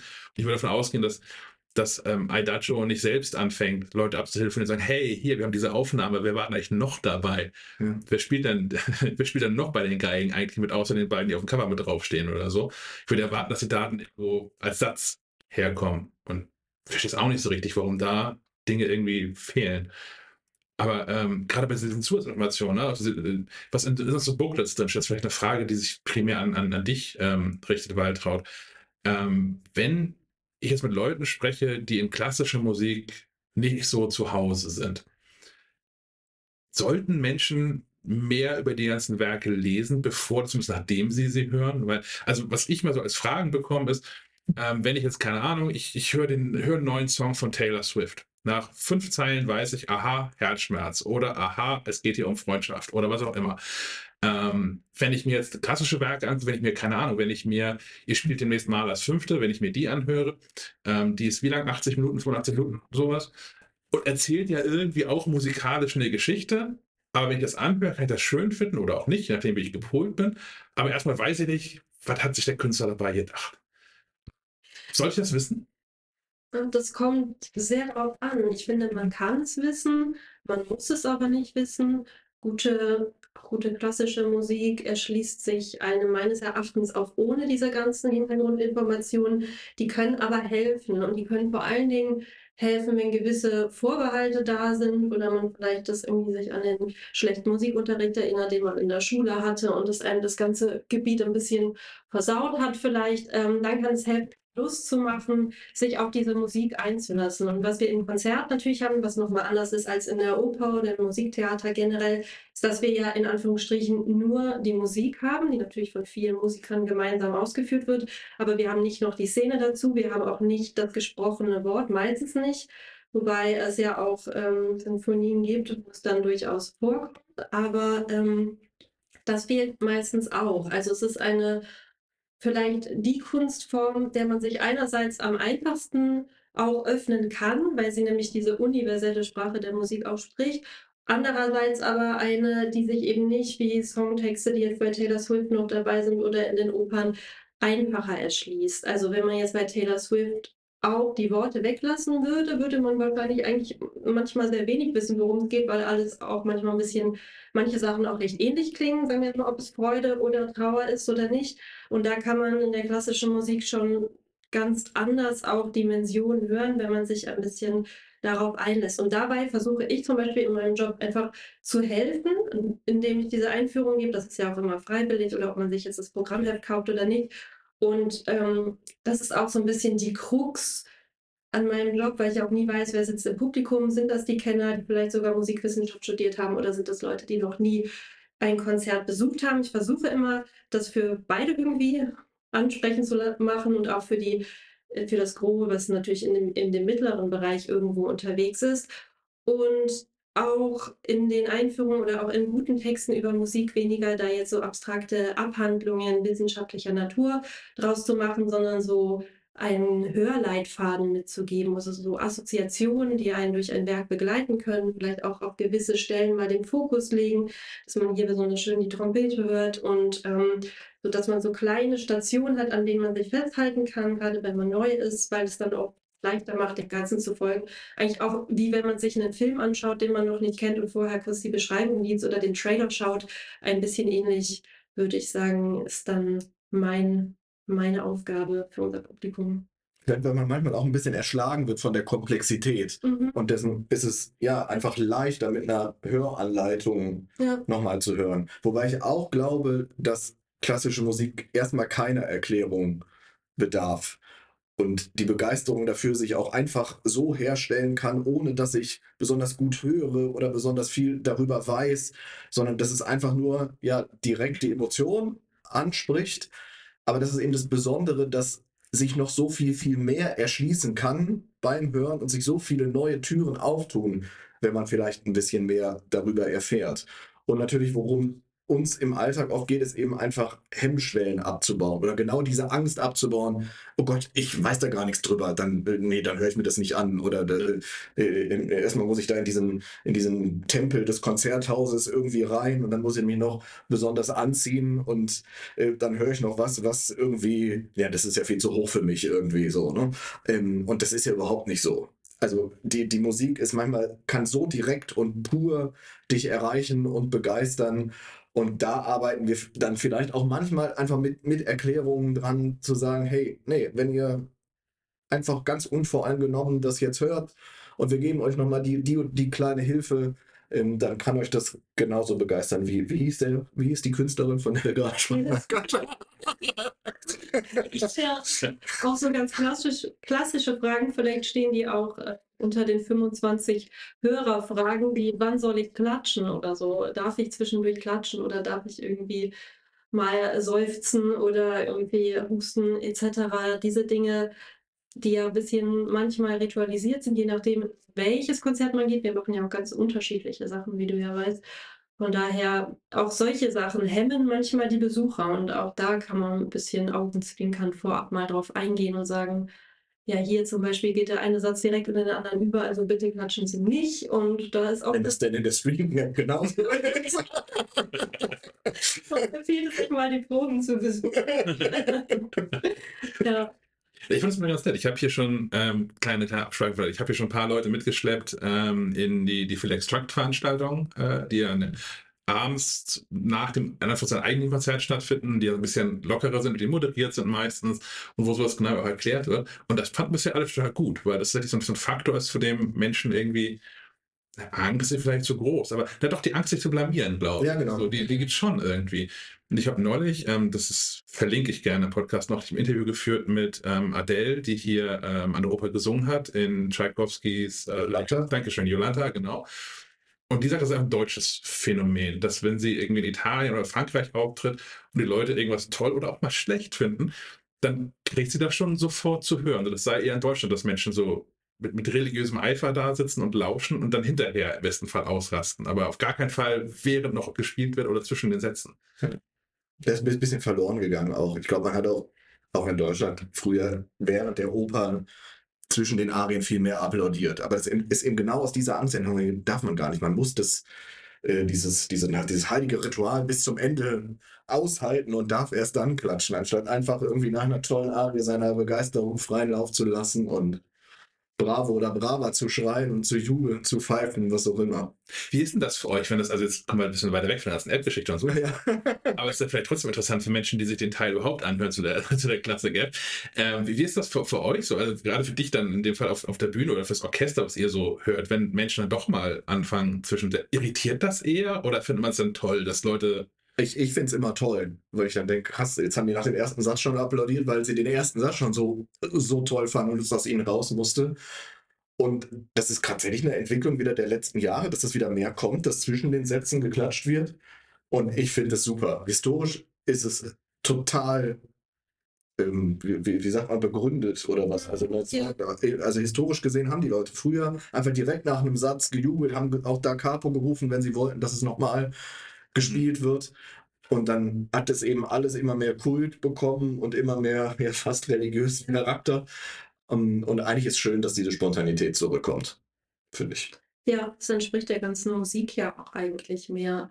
Und genau, früher gab es durchaus Konzerte, bei denen wurde auch gegessen und so weiter. Jetzt nicht nur in der Lille-Brauerei, sondern auch in den Konzertsälen. Und ich habe auch immer wieder die Rückmeldung von Musikern, Musikerinnen oder auch Sängern bekommen, dass die eigentlich froh sind, wenn sie spüren, dass vom Publikum was kommt. Das war jetzt zum Beispiel auch, man kann es nicht mehr hören, aber in Corona auch so, wo das Publikum eben gefehlt hat, dass man so gemerkt hat, dass es einfach nicht dasselbe ist, ob man jetzt vor irgendwelchen Kameras spielt ohne Publikum oder wirklich diese Interaktion mit dem Publikum hat. Und je deutlicher die zu spüren ist, das merke ich ja sogar, wenn ich dann nur mal was moderiere auf der Bühne oder so, die Resonanz ist immer anders und je besser die ist und je deutlicher sie sich äußert, desto besser eigentlich. Also gerne klatschen bitte, liebe Zuhörer.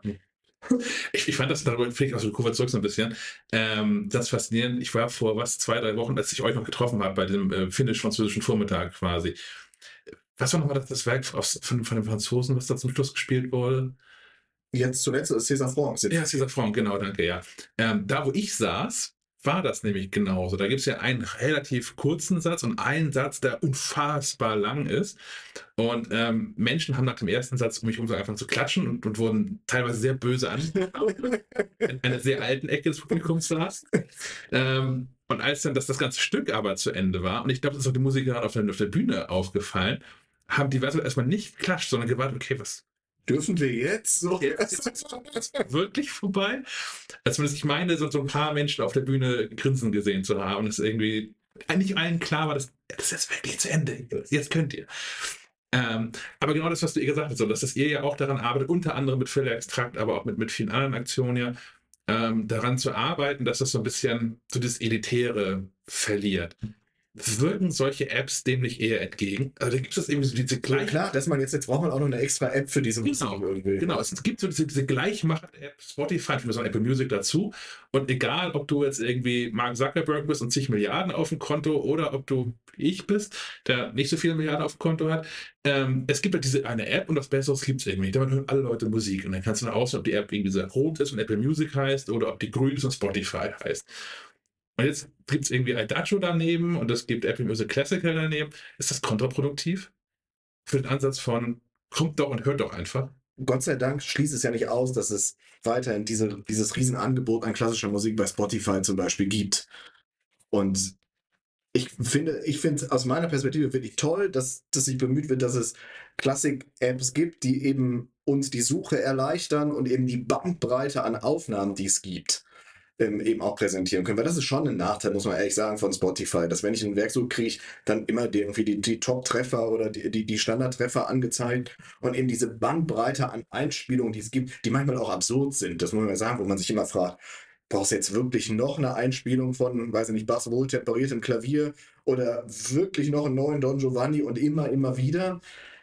Aber es hält die, die Szene frisch und auch darüber wird man natürlich auf neue Künstler aufmerksam, auf, auf neue Newcomer, die, die kommen und die, die ganz, ganz tolle Leistungen abliefern, die, die ich natürlich in den großen Häusern hören kann, aber aus der Entfernung eben auch über diese Apps kennenlernen kann. Also ich bin wirklich dankbar für die Entwicklung und also ich sehe da jetzt keinen Keil dazwischen irgendwie, weil es in der im, im, im Konsum der Musik schon einen Unterschied gibt, glaube ich. Also jetzt, wenn ich wenn ich eben Aufnahmen suche. Hm. Ja, das sehe ich eigentlich auch so, ohne jetzt diese Apps groß zu benutzen. Aber äh, denke ich auch so, wie du gesagt hast, Benjamin, dadurch, dass es eben bei den anderen Portalen nicht rausfliegt dadurch, sondern eben auch noch Bestandteil ist und man zusätzlich diese Möglichkeit hat, jetzt nochmal, ähm, wenn man sich da speziell in diesem Sektor irgendwie weiterbilden oder was anhören will, dass man das dann ergänzend benutzen kann, denke ich, ist es schon eigentlich eine gute Sache. Hm. Ich meine, es ist ja schön zu sehen, hier in Kiel zum Beispiel gibt es keinen CD-Laden mehr für Pop-Unterhaltungsmusik, oder? Ich überlege So wirklich, ne? Glaub nicht, nee. Aber es gibt noch einen CD-Laden für klassische Musik. Ja. Rotkönig Klassik in der, ja. in der dänischen Straße. Also da sieht man schon auch wirklich noch den, ein bisschen den Unterschied in der Art und Weise, wie die Sachen angeboten werden und wie sie eben nachgefragt werden. Hm. Wie, ähm, wie, wie, wie hört ihr eigentlich Musik? Wir haben schon gesprochen, dass ihr dass ich Streamingdienste nutzt, Katharina und, und, und Benjamin, und dass du Waltraud eher noch CDs nutzt, aber so eher das, das Ganze so drumherum. Ich kann zum Beispiel, ich höre viel klassische Musik, wahrscheinlich die meiste klassische Musik, während ich arbeite. Weil ich brauche irgendwie immer, ich brauche so ein bisschen Hintergrundbeschreibung, brauche ich immer irgendwie. Das darf nichts mit Texten sein, weil ich mit Texten arbeite, dann komme ich irgendwie aus dem Konzept. Ähm, könnt, könnt ihr das, macht ihr das? Könnt ihr das überhaupt Musik nebenbei hören oder ist es immer automatisch Arbeit? Braucht zur Entspannung dann irgendwie Death Metal oder irgendwie sowas, wo. Also ich kann zur Entspannung schon auch Musik hören, aber was ich überhaupt nicht kann, ist Musik nebenher hören. Hm. Also dass jetzt einfach irgendwie Musik läuft, weil ich kann, da, dafür höre ich zu aktiv zu. Ähm, es gibt so bei uns zu Hause gibt es so ein paar Sachen, die wir hören, wenn wir putzen irgendwie oder so. Aber selbst da, da singt man dann mit und das kennt man dann. Ja. Irgendwie, da muss es dann aber auch die spezielle Aufnahme sein, damit das Putzen gut klingt. Putzplay. ähm, aber äh, das verrate ich nicht. aber ich kann, nee, also schon zur Entspannung auf jeden Fall, aber dann auch sehr gezielt. Dann weiß ich auch, was mir jetzt gut tut, was ich gerne hören möchte. Und es ist überhaupt nicht so, also es ist auch das Schöne, dass ich meinen Job immer noch so gerne mag und liebe, dass ich jetzt nicht denke, oh Gott, Musik arbeite oder so, sondern klar, klar, Musik ist meine Arbeit, aber Musik ist ja auch mein Leben. Und ich höre nicht wahnsinnig viel Musik privat, aber wenn, dann sehr bewusst und sehr gezielt. Hm. Und deswegen will ich auch gut suchen können. Habe ich mich davor gedrängelt. Sorry.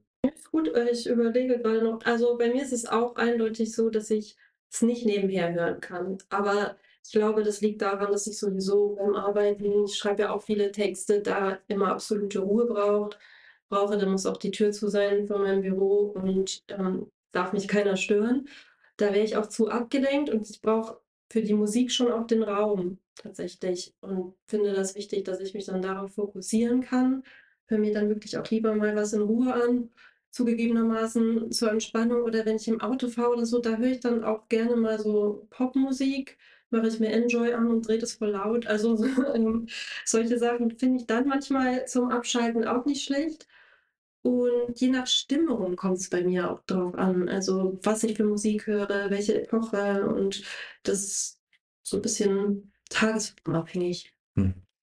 Ja, ich kann mich nur anschließen eigentlich, dass es sehr schwierig ist, weil ich immer dann versuche, damit mitzusingen, also tatsächlich. äh, aber ich höre auch, nat- also nicht natürlich, aber ich höre auch so Musik, insbesondere wenn ich Sport mache. Dann brauche ich immer etwas so ein bisschen Rhythmus, ne? ja, Ja. pushend. Das geht, ja, das geht ja viel, das geht mir völlig anders. Ich kann beim Sport, ich kann alles. Ich bin im Fitnessstudio, aber ich kann da alles hören. Ich habe auch gar kein Problem, dann irgendwie auf, auf dem Laufband zu stehen und nebenbei, also das nebenbei, das ist eins, was ich dann höre, ist dann irgendwie Schubert, der Tod und das Mädchen oder sowas. Das, ich brauche ich brauch nicht, so, ich brauch nicht den Rhythmus, der mir, das, der, der den Sport vorgibt. Nee, Aber, brauche brauch ich auch nicht. Ich, ich suche mir zum Laufen gezielt auch vorher aus, was ich dann höre. Ja. Aber dann weiß ich auch genau, ich ne, suche mir jetzt die und die Symphonie, die dauert 45 Minuten und dann laufe ich dann auch diese 45 Minuten. Respekt. Ähm, und ja, das, die Zeit vergeht dadurch aber natürlich auch Ja. viel, viel schneller. Und man denkt nicht, so Gott, jetzt muss ich noch und bis ich, ne, sondern ist fast die Musik schon vorbei. Ah, meine Laufeinheit ist schon vorbei. Ja. Also ich brauche ich brauche es auch, weil in den, in den Fitnessstudios, wo ich so bin, da läuft einfach so gar nicht meine Musik. Da läuft häufig irgendwas so sehr elektronisch, Abtempo und zu laut und so, weil Menschen das offensichtlich hilft. Aber kriegst du das dann mit guten Kopfhörern weggedämpft, dass, Ja. du, dass du nicht beides hörst? Ja. Der Tod und das Mädchen mit Techno-Unterlegung. Wäre mal spannend. Ich weiß nicht, wie, wie viele konspirierte Konzerte das Aber das ist, äh, im Prinzip, so was ähnliches gab es doch schon. Ich hatte doch auch schon mal mit, mit, mit DJ ähm, nebenbei. Das ist gar nicht so lange her. Letztes Jahr, vorletztes Jahr. Machen wir nächstes Jahr auch wieder. Ja. Ah, sehr cool, sehr cool. Ähm, du warst gerade schon beim, beim Auffinden von Musik, Benjamin. Wie, wie, wie findet ihr neue Musik? Also ich unterstelle mal, dass auch ihr nicht das gesamte Repertoire, was alle klassischen Komponisten jemals verfasst haben, ähm, kennt, sondern wenn, keine Ahnung, ihr überlegt das Programm für, für die nächste Spielzeit und kommt auf die Idee, ah, noch ein Mozart muss es ja echt nicht sein. Wir machen mal was anderes, was wir noch nie gespielt haben. Ist es dann eher so, dass, ähm, keine Ahnung, wenn ich was Neues suche, dann ich mache es bisher so, ich gehe dann in eine der diversen Streaming-Apps und gucke nach was, was mir gefällt und gucke dann nach Vorschlägen, die echt. Das das habe ich noch nie gemacht. Ja, ich auch nicht. So, also das klappt auch mal mehr, mal weniger gut, ehrlicherweise. Und Ja. so, aber alternativ natürlich, okay, so Dirigenten könnte man ja auch suchen. So, ich habe jetzt ein Werk gehört, das äh, du dirigiert hast. Was hat er eigentlich noch so gemacht? Mhm. Wie geht ihr da ran, wenn ihr was Neues finden wollt? Da gibt es viele Wege und sie sind ganz vielfältig. Also zum einen passiert es, dass man zufällig auf etwas stößt, also im Radio dann nicht Enjoy hört, sondern vielleicht Deutschlandfunk oder NDR Kultur. Da kommen häufig äh, gute Sachen und dass man da was mitkriegt, zum Beispiel, was man vorher nicht kannte, sich dann eine Notiz macht oder so. Das ähm, dann im Kontakt mit Verlagen, also jetzt zum Beispiel auch wenn es um neue Musik geht, das ist auch immer wichtig. Die äh, schicken auch vierteljährlich ihre Magazine raus, sie dann also einmal neue Komponisten und Komponistinnen benennen, aber auch neue alte Werke. Meistens liest man tatsächlich erst drüber Ja. ne? und sucht dann, ob man schon eine Aufnahme hören kann oder ob man nur das, in Anführungsstrichen, sich nur die Partituren angucken kann. Aber tatsächlich funktioniert es gerade bei neuen Sachen in der Regel übers Drüberlesen. Nur, dass man von irgendeiner Uraufführung liest Mhm.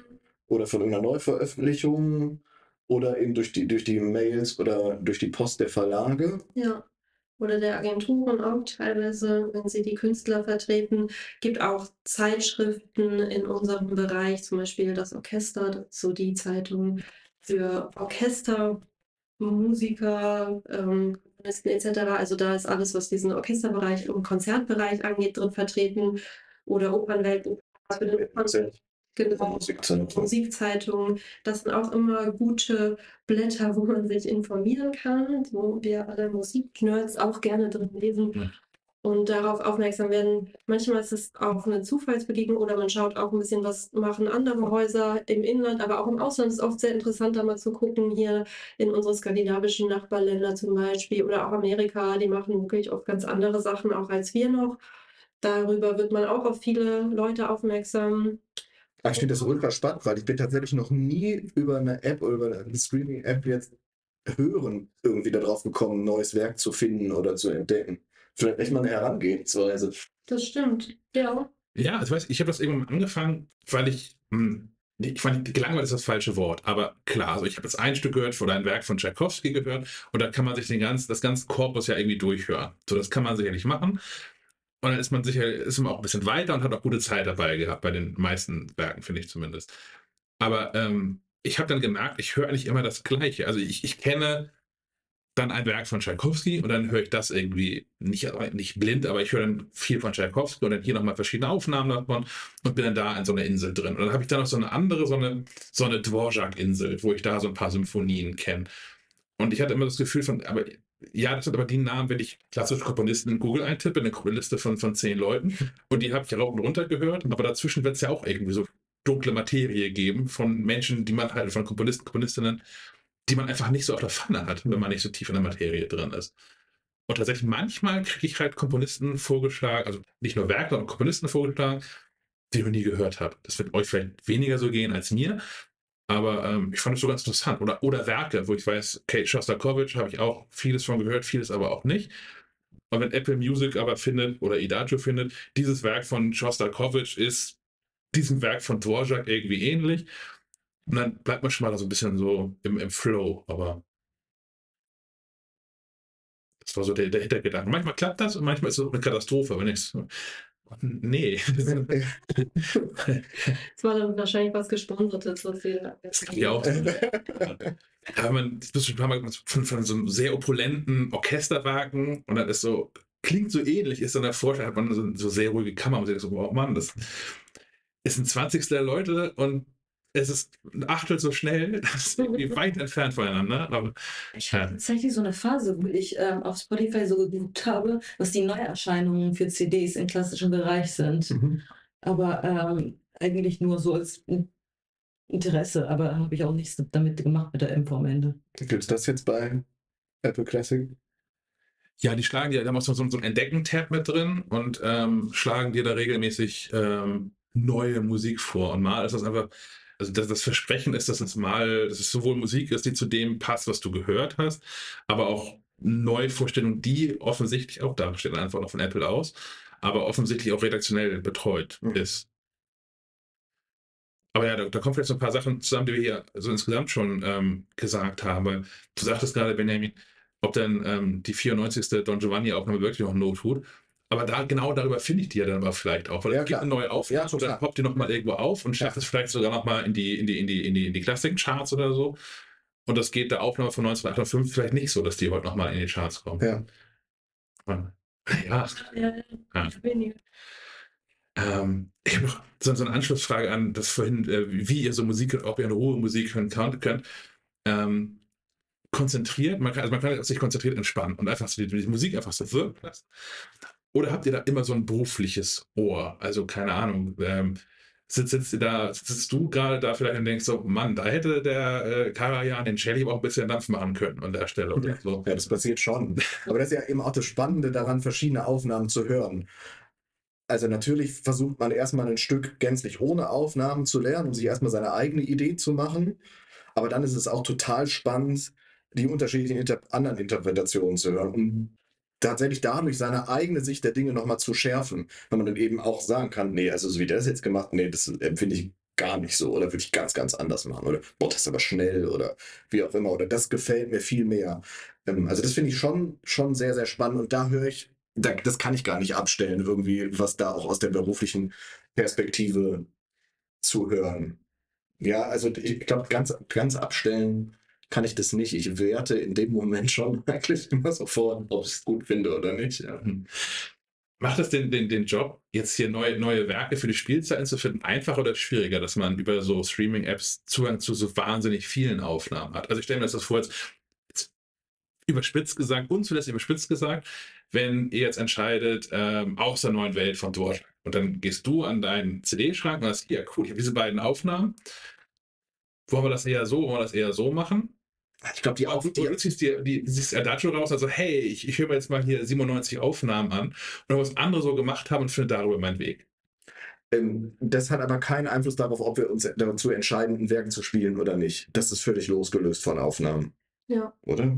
Ja, also das ist dann nur informativ, ob man Ja. sich das, das Werk an sich vorstellen könnte. Gerade bei unbekannteren Sachen muss man es natürlich einmal durchhören und dann ist es super, wenn man da auf einen Pool zurückgreifen kann, in dem möglichst viele Werke aufgenommen sind.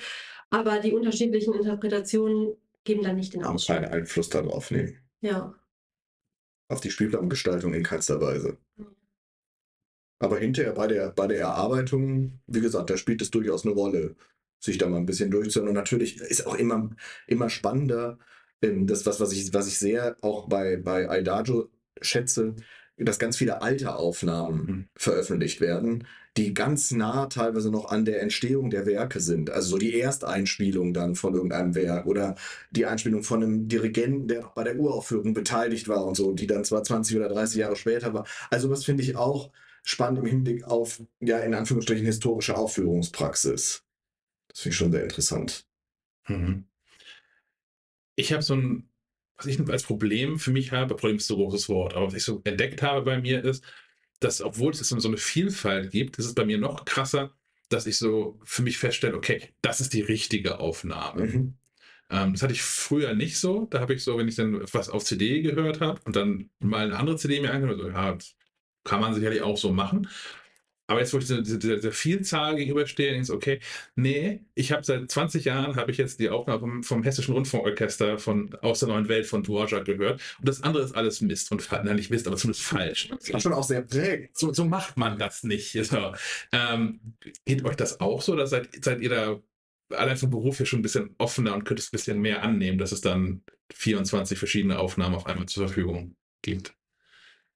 Das ist alles immer interessant. Also, okay, ich habe das jetzt gehört und das ist so das Ding, so macht man das. Ich mache es hier noch ein bisschen anders und der ganze Rest kann mir auch gestohlen bleiben. Also ich kenne das auch, dass ich von manchen Werken so eine, so eine ganz, ganz heilige Aufnahme habe, so die für mich die Referenzaufnahme, wo ich immer denke, da kommt nichts ran. Und durch die Vielfalt, die man jetzt zur Verfügung hat, muss man da manchmal schon erkennen, boah, ist auch ganz gut. Oder ja, vielleicht wird das doch irgendwie jetzt meine neue Lieblingsaufnahme. Das finde ich schon eine ganz, ganz tolle Entwicklung. Und weil vieles ist natürlich, wie du, wie du gerade von dir selber beschrieben hast, war bei mir auch so. Ich bin geprägt durch die Aufnahme, die ich auf CD hatte als 16-Jähriger, als ich das Werk rauf und runter Tag und Nacht gehört habe. Klar, und das prägt und das ist dann plötzlich für dich irgendwie entwickelt das so eine Allgemeingültigkeit. Und das jetzt aufzubrechen durch die Vielzahl an anderen Aufnahmen, die man zur Verfügung hat, ist eigentlich toll und wiederum nur bereichernd.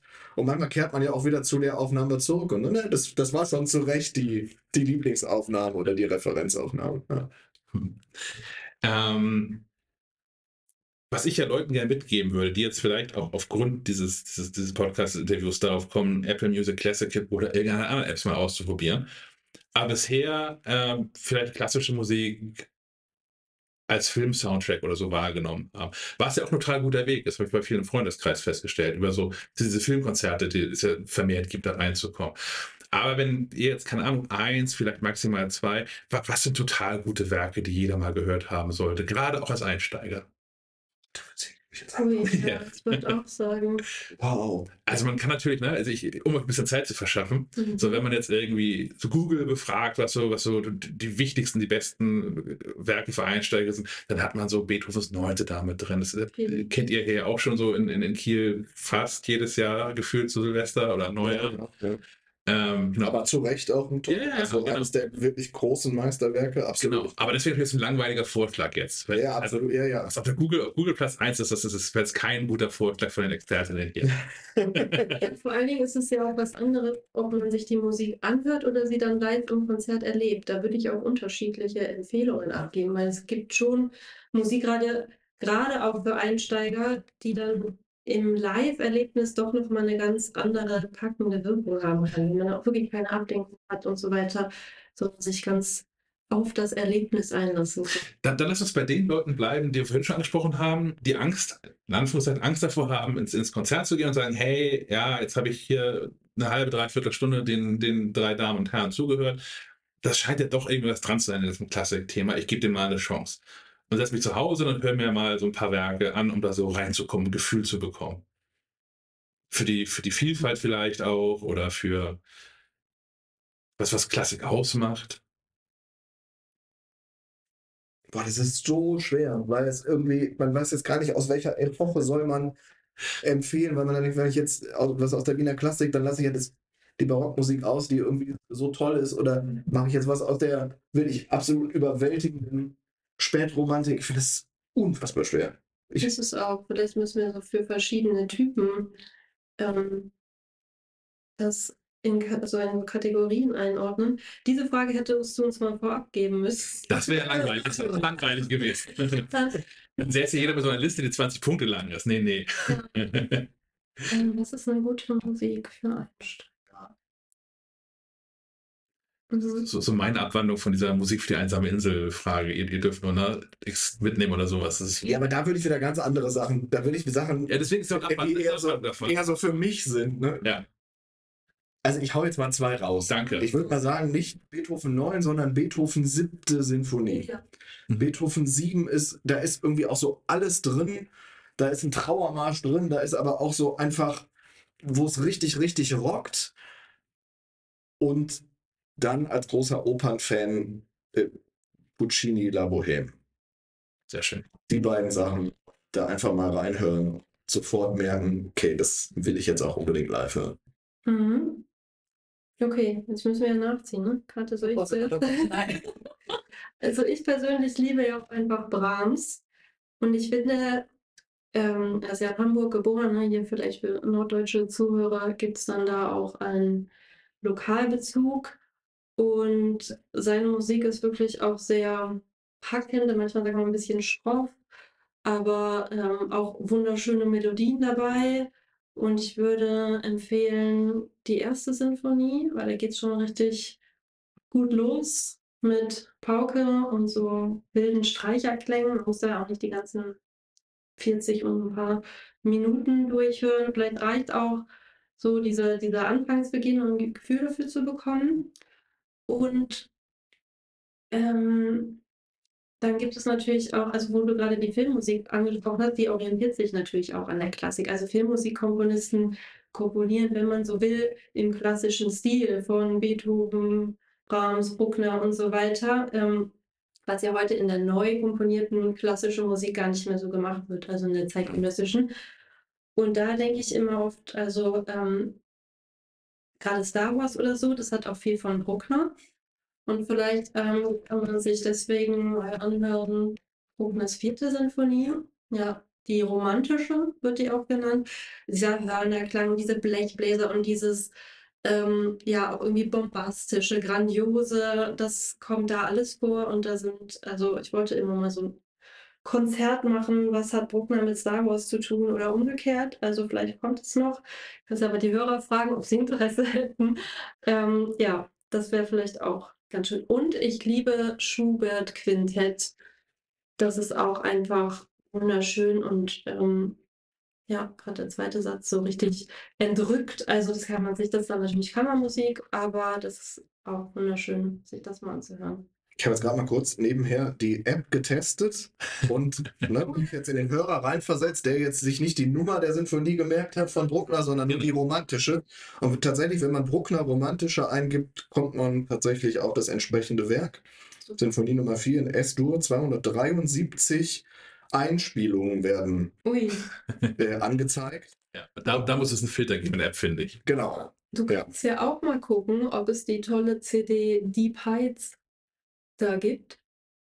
Wir haben nämlich ja auch eine mit dem Orchester aufgenommen. Ja. wo wir mit Bassposaune als Solistin, mit unserer Bassposaunistin Lisa Hochwimmer Musik für Orchester und Posaune aufgenommen haben. Da sind auch bearbeitete Opernarien gibt's drin. Echt, gibt Ja. es? Okay, das ist natürlich absolute Hörempfehlung. Und das, das geht von jazzig äh, bis hin zu klassisch romantisch und die Posaune bringt auch ein paar schwermütige oder auch witzige Arien zu Gehör. Also das ist, ist echt ganz schön. Kann man gut mal machen. Kannst du noch irgendwas durchdrehen, Katharina? Äh, ja, also ganz, ganz kurz. Äh, ich bin auch so lang, stinklangweilig, würde ich auch Brahms mitnehmen, tatsächlich, aber die vierte. Und ich hatte auch Bohem mitgenommen, aber da ich mich nicht wiederholen möchte, würde ich ähm, Hochzeitsfigaro. Mhm. Äh, Mhm. Was sage ich denn? Le nozze di Figaro, das sage ich, weiß ich da die. Figaros Hochzeit, genau das da.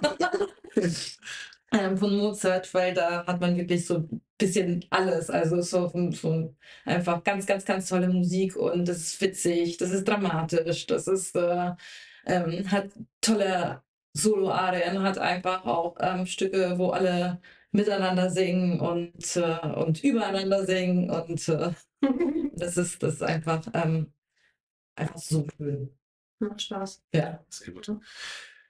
Wenn ihr nicht noch irgendetwas habt, was Menschen unbedingt wissen müssten, was euch besonders gut gefällt oder nervt an der Benutzung von allgemeinen Streaming-Apps, hätte ich noch eine Abschlussfrage. Ja, bitte. Okay. Ähm, und zwar, du hast ja auch schon ein bisschen Werbung gemacht für euch, das hätte ich sonst ja auch noch eine Frage. äh, das für die Menschen, die hier, äh, uns aus dem, aus dem Norden ähm, zuhören. Das ist auch richtig, die uns aus dem Norden zuhören. Oder die auch ähm, vielleicht ihren Urlaub hier verbringen Ja. wollen. Was, was sind so die, die nächsten Highlights, die ihr hier auf die verschiedenen Bühnen bringt? Wer möchte? Soll ich zuerst? Ich Also du hast es ja gerade schon selber gesagt, Maler Fünfte kommt jetzt als nächstes in zwei, am äh, drei Wochen. 30.04. Also in zwei Wochen haben wir Premiere Puccinis Manon Lescaut. Also auch große romantisch italienische Oper. Ganz viel Herzschmerz und unfassbar tolle Melodien. Es wird eine super Inszenierung, super Sänger. Und eine Woche später gibt es Malers Fünfte. Ja. Dann haben wir noch ein Highlight im philharmonischen Programm. Und zwar spielen wir eine konzertante, komische Operette von Leonard Bernstein, Candide. Ein ganz wunderbar skurriles Werk mit viel Solisten, Chor und Orchester. Und wir spielen eine konzertante Version mit Erzähltexten von Loriot dazwischen. Das ist am 18. Juni in der Wunderino Arena. Zweimal 11 und 18 Uhr. Und ja, so ganz lang ist die Spielzeit ja schon gar nicht mehr. Ja.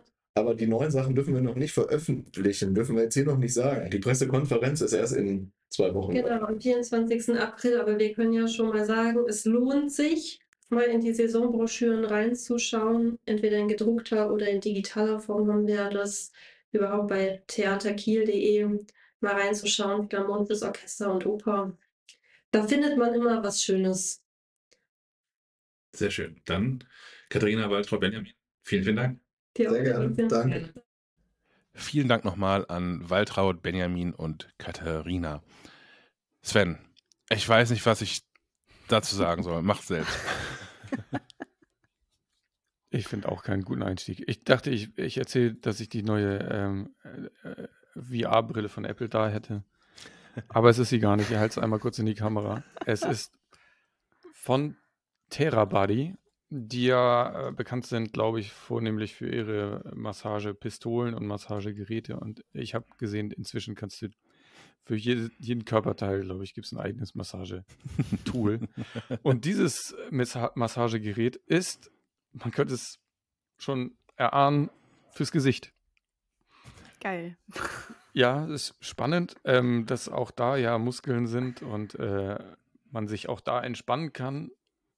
Habe ich gelernt, auch durch so äh, Aktionen wie progressive Muskelentspannung und Meditation, weil wenn man da mal wirklich drauf achtet, dann geht das auch. Also, weil die dann, dann sagen die, ja, entspann mal deine Augen und du denkst so, hä, wie soll das denn gehen? Aber mit, mit ein bisschen Übung kriegt man das hin.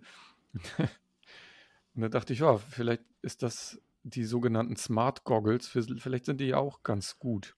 Ich kann ja kurz erklären, was die machen. Also es ist ein relativ schweres Gerät. Ich glaube, so über 400 Gramm wiegt es. Merkst aber nicht unbedingt, wenn du es aufhast. Ne? Weil meistens zum Entspannen, ich lege mich dann meistens hin, zieht er halt dieses Ding auf, auf der einen Seite gut gepolstert, auf der anderen Seite so eine Netzstruktur. Irrelevant. Ähm, und dann hat das so drei Dinge, dass es tut. Also diese Brille. Ähm, zum einen macht es warm. Das ist Wärme, ist immer ganz angenehm, ist ganz gut. Ist ein bisschen ungewöhnlich, dass so Wärme auf den Augen hat man selten so. Ähm, dann so, vibriert es so ein bisschen und ähm, soll auch so massieren, sage ich jetzt mal. Dieses mit dem Massieren, dieses Drücken, so funktioniert zumindest auf den Schläfen ganz gut. Das finde ich auch angenehm. Äh, Ich weiß nicht, ob ihr das kennt, so wenn ihr Kopfschmerzen habt, dass man den Kopf mal zusammendrückt und dann wird es irgendwie angenehmer. Mhm. Und das Ding, obwohl es ja nur über so ein, so ein, äh, so ein Kopfgurt gehalten wird, baut ordentlich Druck auf. Also der drückt da ordentlich auf die Schläfen, ohne dass es unangenehm wird. Das ja, die Vibration habe ich nicht verstanden. Ähm, das vibriert so ein bisschen, das ist so ein bisschen, als hätte ich eine Schlafmaske auf und würde irgendwie über so einen Feldweg fahren oder so. Also es fühlt sich ganz komisch an und irritiert mich auch eher. Ähm, deswegen, mh, das fand ich jetzt nicht so überzeugend. Ähm, das hat drei Modi. Den genauen Unterschied konnte ich jetzt nicht rausfinden. Also der eine ist Relax, der andere ist Fo Fokus und Schlaf. Ähm, die sollen dann ein bisschen anders vibrieren oder ein bisschen anders massieren. Konnte ich jetzt den großen Unterschied konnte ich da jetzt nicht feststellen. Äh, man kann das Ganze auch mit der App koppeln. Das Ding kann Bluetooth. Die App ähm, liefert aber, mh, ich sag mal, wenig Mehrwert. Du kannst zwar darüber auch die einzelnen äh, ähm, Modi auswählen und auch noch verfeinern. Also du kannst sagen, ja, hier mach mal Relax, aber mach mal mit extra Wärme. Und mach mal statt der standardmäßigen 15 Minuten, mach mal eine halbe Stunde. Ich glaube, maximal eine halbe Stunde geht. Sonst wird einem wahrscheinlich auch irgendwie das Gesicht wegbrennen. Ähm, das kann man dann in der App noch einstellen. Und die App, wenn man die Übung beendet hat, äh, zeigt einem dann auch die Herzfrequenz an. Denn das Ding hat so ein kleines Herzfrequenzmessgelöte, was quasi auf der Wange aufliegt. Und darüber die Hex Herzfrequenz messen will. Mm, Und natürlich zeigt es immer ab, an, dass man, dass die abgenommen hat während der Übung. Ich habe das gleichzeitig mal mit der Uhr, äh, die Uhr laufen lassen und eine, eine Ju- Übung gemacht, also ein Workout gestartet, um zu sehen, wie der Herzfrequenzverlauf ist. Der war irgendwie anders und war nicht so eine gravierende Änderung. Mm, Jetzt weiß ich, deswegen weiß ich nicht so, wie genau dieses, dieses Herzfrequenzding ist. Es scheint auch irgendwie nicht so relevant zu sein, weil die Daten nirgendwo äh, protokolliert werden. Also die App zeigt dir das am Ende und dann sind die weg. Also es ist nicht so, dass du einen Log hast, dass du reingucken kannst, aha, wann habe ich wie und wie und so. Und eine Anbindung an, an die Health-App habe ich auch nicht gefunden. Also wäre natürlich geil, ist ja eine Art Meditation oder eine Achtsamkeitsübung, dann kann das doch mit in die Health-App. Nee, geht nicht. Gibt keine Anbindung dafür. Das war, äh, naja. Und ähm, das Ding muss ja irgendwie auch mechanisch arbeiten. So, ne? Druck baust du ja auch nicht aus dem Nichts auf. Äh, und das ist das größte Manko, glaube ich. Ist es relativ laut? Ich kann es ja mal anmachen. Ich weiß nicht, ob man es dann hört. Also da hört man, wie, also wie so, ein, wie so eine Blutdruckmanschette hört man. Ne? Die pumpt sich ja. mal auf und dann. Hm. Und die, ich weiß nicht, ob ihr die Vibration auch hört. Jetzt für die ASMR-Freunde. nee, Aber das hört ihr, ne? Nee. Naja, es ist relativ laut, zumal man das Ding ja auf, den, auf dem Gesicht hat, was relativ nah an den Ohren ist. Deswegen kannst du eigentlich keine Übung machen, ohne dass du irgendwie gute Noise-Canceling-Kopfhörer aufhast. Ähm, ja. Genau. Ich war ein bisschen unterwältigt, muss ich sagen. Ich habe mir da irgendwie mehr von versprochen. Mhm. Zumal das Ding mit 200 Euro gewohnt hochpreisig ist. Also wer Terrabody kennt, die ganzen Sachen sind da alle nicht so richtig günstig. Ist, ist das Akku betrieben oder? Ja, ah, achso, klar. Da ist natürlich ein äh, ist, ist Akku drin. Ähm, Laufzeit weiß ich jetzt leider nicht. Ähm, kannst du mit, einfach mit USB-C aufladen. Immerhin das. Aber wie gesagt, ja. nee, 150 Minuten soll die können. Aber ich meine, maximal 30 Minuten machst du eine Übung und dann kannst du es wieder an Strom hängen. Ja, ich dachte nur halt, wenn man, wenn das, wenn das nicht akkubetrieben wäre, sondern mit Kabel, das wäre ja absoluter Quatsch. Das ist ja nochmal ja. doppelt nervig, ja, das stimmt. Hm. Ja, das wird jetzt nicht meine Lieblingsschlafmaske. Äh, ähm, genau. Ich werde sie dann auch nicht vermissen, wenn sie nächste Woche wieder zurückgeht. Hm. Naja. Es muss ja nicht immer alles eine Empfehlung sein. nee, aber ich fand es schon irgendwie lustig, das mal auszuprobieren. Hm, was ich nicht ausprobiert habe, wo ihr beide jetzt aber tiefer einsteigen könnt, weil ich auch aus der letzten Sendung weiß, dass Sven da auch schon drum gespielt hat, ist, ist Terra Nil. Ich klick mich mal aus und hör zu, was ihr da so draus Terra macht. Body zu Terra Nil. Ja. ja. Hand in Hand. Ja, ich hatte gesehen, dass äh, Sven da schon, schon ein bisschen drüber geredet hat, aber ich äh, sag, sag Bescheid, wenn sich was doppelt. ähm, ja, das ist so eine, so eine ähm, ein Spiel äh, von, von Netflix. Äh, kann man quasi mit einem Netflix. Ah, du hast es auch auf dem iPad gespielt. Ja. Okay. Ja, ich dachte, du kommst jetzt mit der PC-Version um die Ecke, weil es das ja auch bei Steam gibt. Aber gut. Auch bei nö, nö, ich, ich, also ich habe es auf dem iPad und auf dem iPhone gespielt. Also auf dem iPhone funktioniert das tatsächlich auch. Okay. Ähm, ja, so ein, so ein Terraforming-Simulationsspiel, wo du quasi verschiedene Faktoren verändern kannst, um ähm, ein, äh, ein, eine Ödnis äh, in ein äh, belebtes, äh, bepflanztes äh, Areal zu verwandeln. Äh, es gibt vier Level. ich glaube, das erste ist einfach, einfach Wiese, das zweite ist eine tropische Insel, das dritte ist Vulkanlandschaft in, im hohen Norden, also so mit Tundra und so. Mhm. Und das vierte ist eine Stadt äh, und die haben alle so ihre unterschiedlichen Herausforderungen. Ähm, und äh, ich, ich, ich finde das, ich hatte da sehr viel Spaß mit. Also ich bin da sehr blauäugig einfach mal so reingegangen, auch ohne äh, vorher großartig Simulationen in dieser Form gespielt zu haben und fand das dann direkt ganz nett, dass man da verschiedene Schwierigkeitsgrade auswählen konnte. Nämlich, ich glaube, Gärtnerin, Ökologin äh, und ähm, was war das? äh, ich glaube, irgendwie so, irgendwas Ingenieur. Umweltingenieurin. Ja, genau. Mhm. Äh, und das fand ich ganz nett, weil dann habe ich auf dem niedrigsten Schwierigkeitsgrad gespielt. Da sind dann die Ressourcen, äh, spielen ja nicht so eine Rolle, sondern man hat dann so ein bisschen Zeit, äh, überhaupt zu verstehen, wie, wie das Spiel eigentlich funktioniert. Ähm, ohne darauf achten zu müssen, so sparsam wie möglich zu, zu bauen. Ähm, aber ich habe jetzt, nachdem ich das jetzt einmal, alle Level einmal gespielt habe, habe ich die Schwierigkeit ein bisschen hochgestellt, um mir so ein bisschen äh, Herausforderungen nochmal zu geben.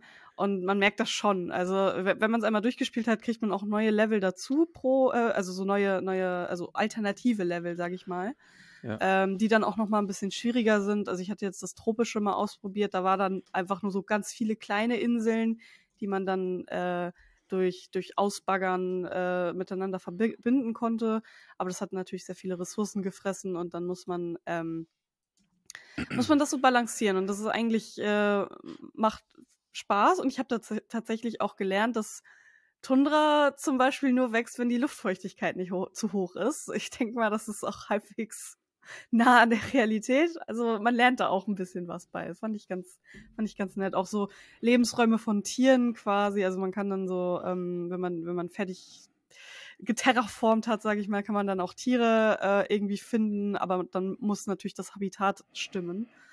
Äh, und das kann auch durchaus eine Herausforderung werden, wenn äh, ich, ich, ich weiß noch, dass ich bei dem äh, Vulkanlevel äh, bei dem Polarfuchs zum Beispiel sehr, äh, sehr zu kämpfen hatte, weil der muss auf hohem Gebiet sein, der braucht Tundra und der braucht Schnee. Mhm.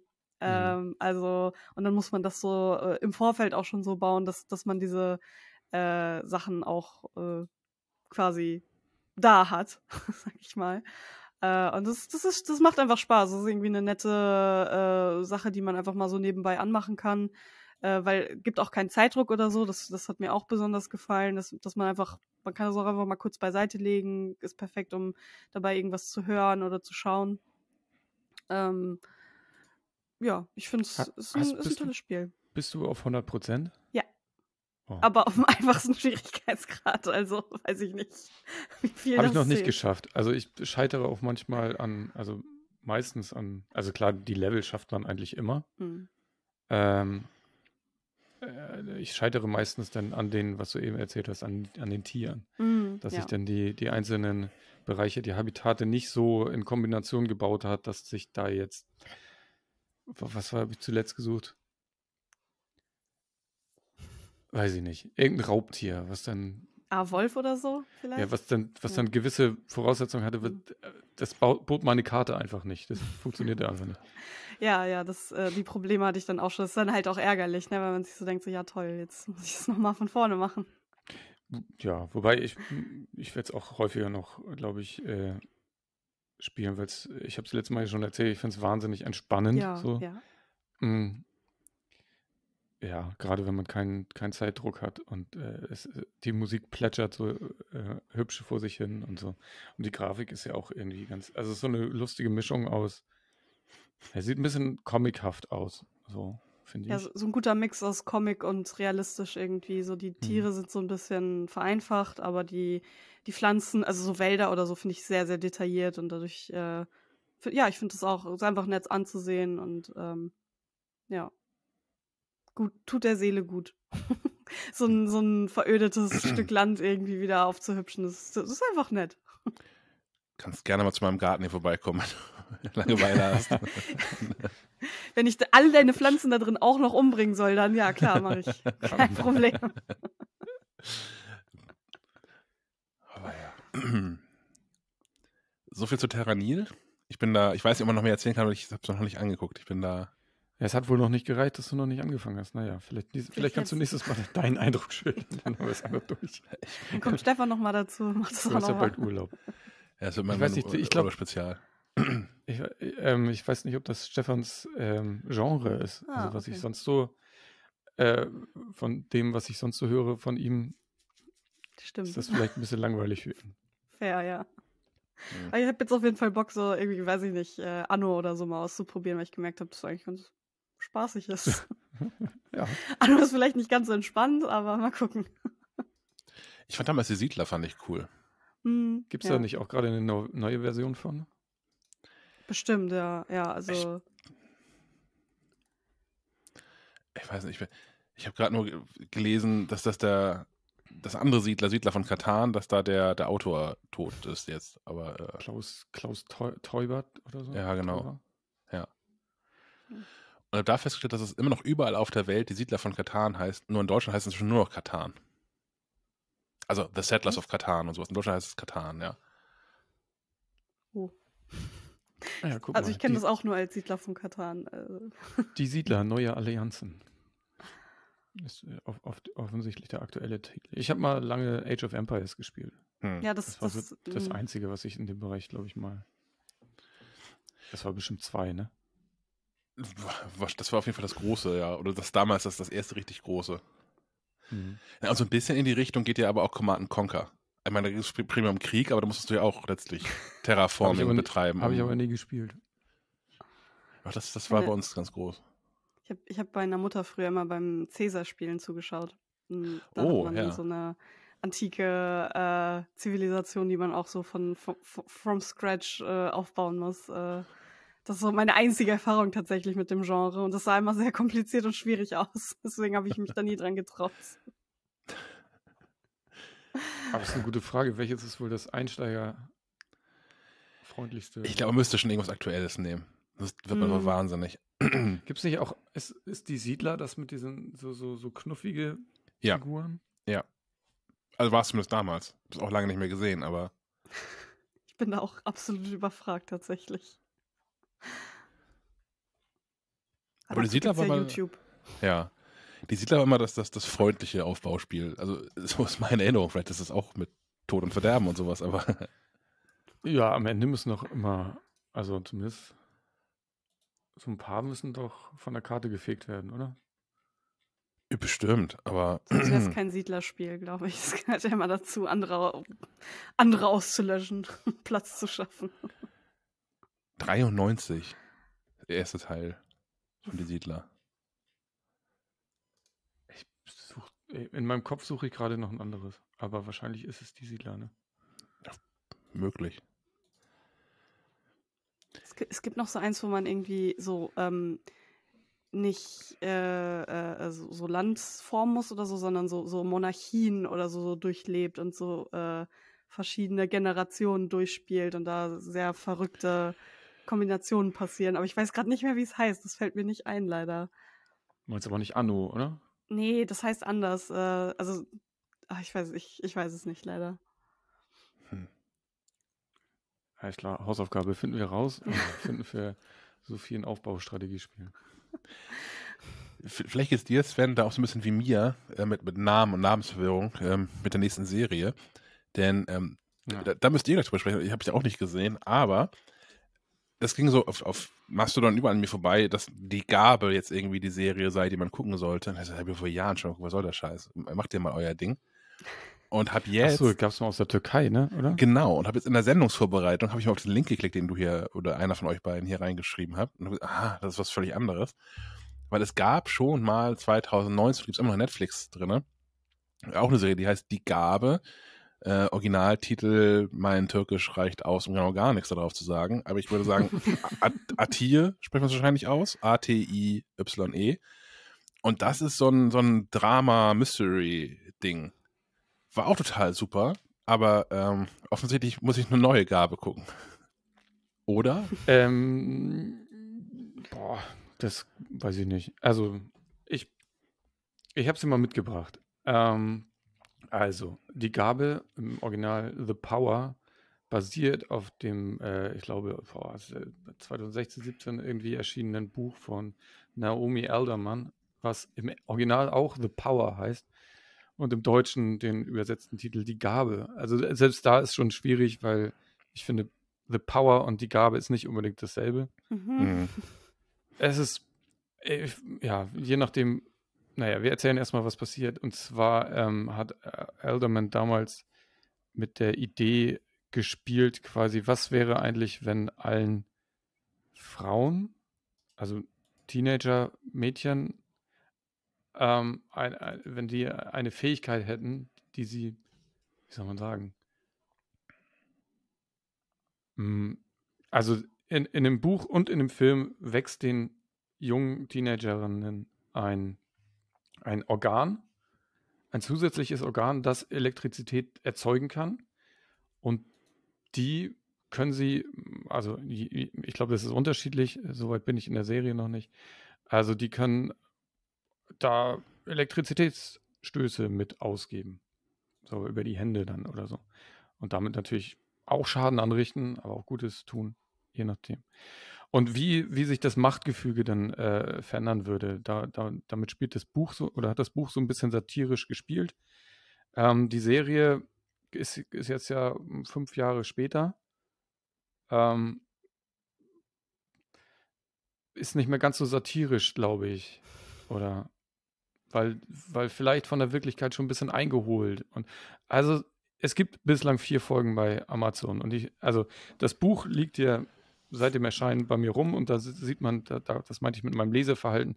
Also mein Leserverhalten ist aktuell so, dass ein Streaming-Anbieter schneller eine Se Serie herstellt, als dass ich das Buch durchlese. Also lohnt sich das für mich kaum noch. Obwohl ich habe jetzt große Lust, äh, mit dem Buch auch noch anzufangen. Ähm, genau. Worauf wollte ich hinaus?